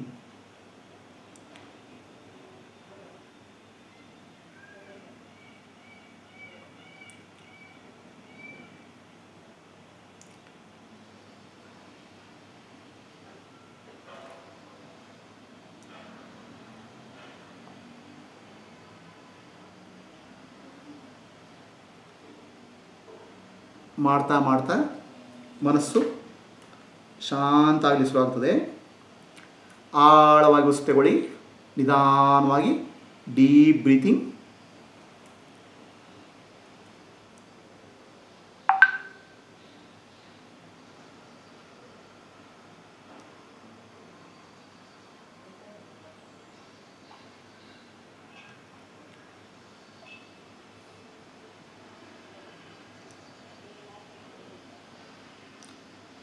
ಆಳವಾದ ಉಸಿರು ಡೀಪ್ ಬ್ರೀತಿಂಗ್ ಸ್ಲೋ ಬ್ರೀತಿಂಗ್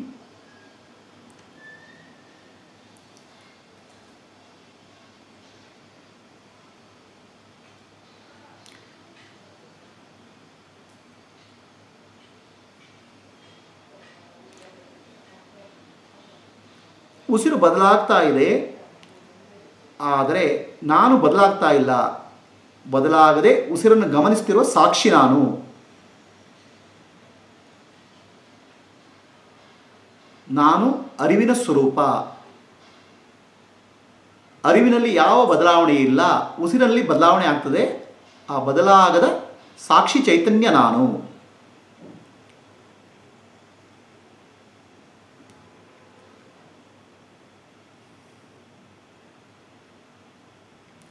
ಆ ನಿಜವಾದ ನಾನುವಿನ ಬಗ್ಗೆ ಅರಿವು ತರ್ಕೊಳ್ಳಿ. Become aware of this self ದೇಹದಲ್ಲಿ ಬದಲಾಗ್ತಾ ಇದೆ, ಉಸಿರಿನಲ್ಲಿ ಬದಲಾವಣೆ ಆಗ್ತಾ ಇದೆ. ನನ್ನಲ್ಲಿ ಯಾವ ಬದಲಾವಣೆ ಇಲ್ಲ. ಬದಲಾಗದ ಚೈತನ್ಯ ನಾನು.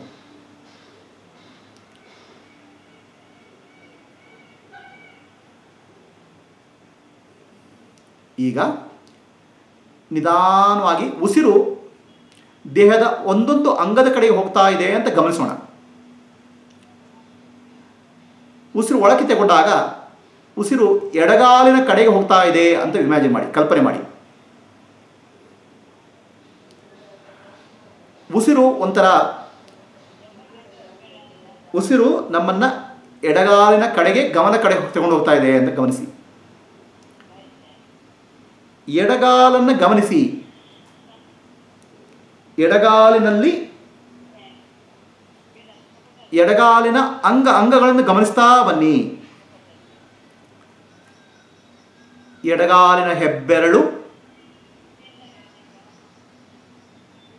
ಎಲ್ಲ ಬೆರಳುಗಳು, ಅದನ್ನು ಸಂವೇದನೆಯನ್ನು ಗಮನಿಸಿ. ಎಡಗಾಲಿನ ಪಾದ, ಎಡಗಾಲು ತೊಡೆ. ಇಲ್ಲಿ ಯಾವ ರೀತಿಯ ಸಂವೇದನೆ ಇದೆ ಗಮನಿಸಿ.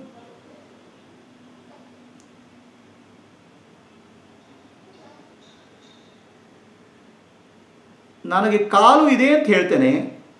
ಆ ಕಾಲು ಅನ್ನೋದು ಕೇವಲ ಒಂದು ಸಂವೇದನೆ. Leg is a sensation in my consciousness ನನ್ನ ಚೈತನ್ಯದಲ್ಲಿ ಲೆಗ್ ಕಾಲು ಅನ್ನೋದು ಒಂದು ಕೇವಲ ಅರಿವು, ಚೈತನ್ಯ ಸಂವೇದನೆ.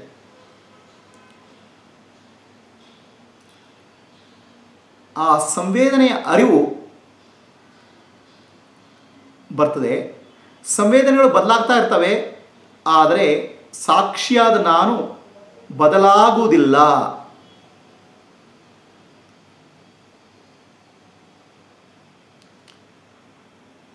ನನ್ನ ಕಾಲು ಅನ್ನಮಯ ಕೋಶದಲ್ಲಿದೆ. ಕಾಲು ಅನ್ನೋದು ಕೇವಲ ಸಂವೇದನೆಗಳು. ಬಂಡಲ್ ಆಫ್ ಸೆನ್ಸೇಷನ್ಸ್ ಆ ಸಂವೇದನೆಗಳು ಬದಲಾಗ್ತವೆ, ಆದರೆ ನಾನು ಬದಲಾಗುವುದಿಲ್ಲ. ನಾನು ಶುದ್ಧ ಚೈತನ್ಯ, ಸಾಕ್ಷಿ ನಾನು. ಕಾಲು ನಾನಲ್ಲ. ಈಗ ಉಸಿರನ್ನು ನಿಧಾನವಾಗಿ ಬಲಗಾಲಿನ ಕಡೆ ತಗೊಂಡೋಗಿ, ಬಲಗಾಲಿನ ಅಂಗ ಅಂಗಗಳ ಸಂವೇದನೆಯನ್ನು ಗಮನಿಸಿ. ಬಲಗಾಲಿನ ಬೆರಳನ್ನು ಗಮನಿಸಿ.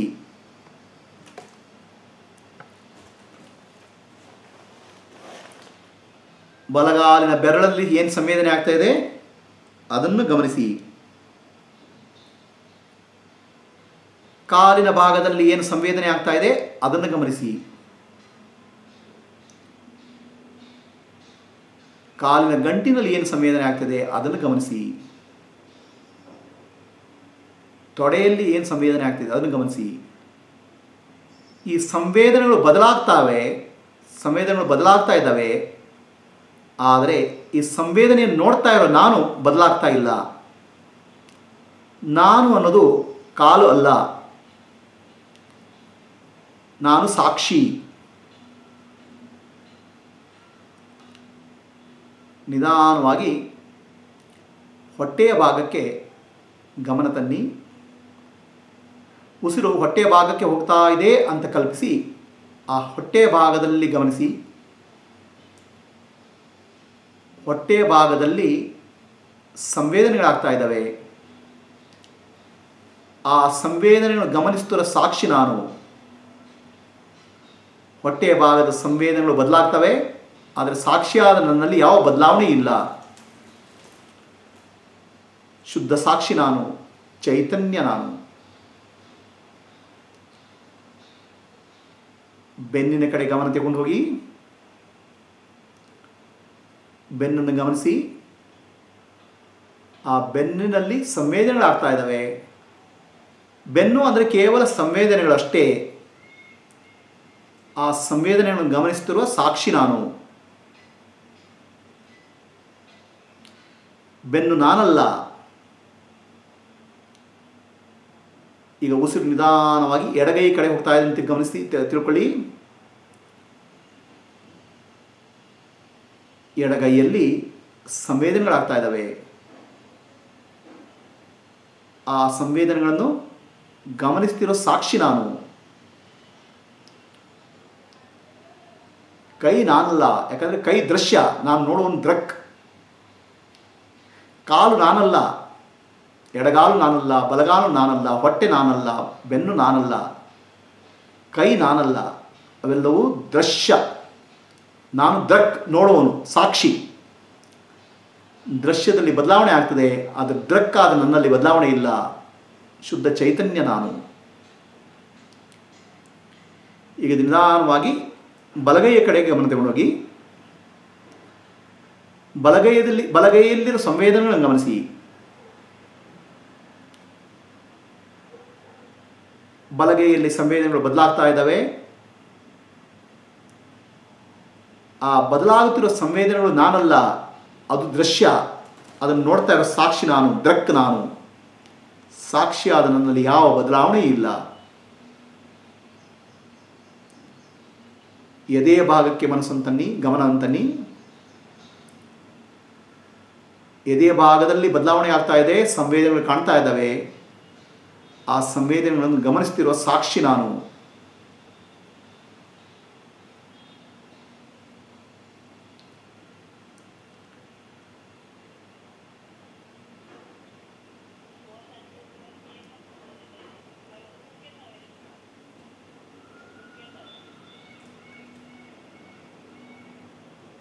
ಕುತ್ತಿಗೆಯ ಭಾಗಕ್ಕೆ ಗಮನ ತನ್ನಿ, ಕುತ್ತಿಗೆಯ ಮುಂದಿನ ಭಾಗ, ಹಿಂದಿನ ಭಾಗ, ಉಸಿರು ಕುತ್ತಿಗೆ ಭಾಗಕ್ಕೆ ಹೋಗ್ತಾ ಇದೆ ಅಂತ ತಿಳ್ಕೊಂಡು ಕುತ್ತಿಗೆ ಭಾಗದಲ್ಲಿ ಗಮನಿಸಿ. ಕುತ್ತಿಗೆ ಭಾಗದಲ್ಲಿ ಸಂವೇದನೆಗಳು ಆಗ್ತಾ ಇದ್ದಾವೆ. ಆ ಸಂವೇದನೆಗಳನ್ನು ಗಮನಿಸ್ತಿರುವ ಸಾಕ್ಷಿ ನಾನು. ನಾನು ಅನ್ನೋದು ಕುತ್ತಿಗೆ ಅಲ್ಲ.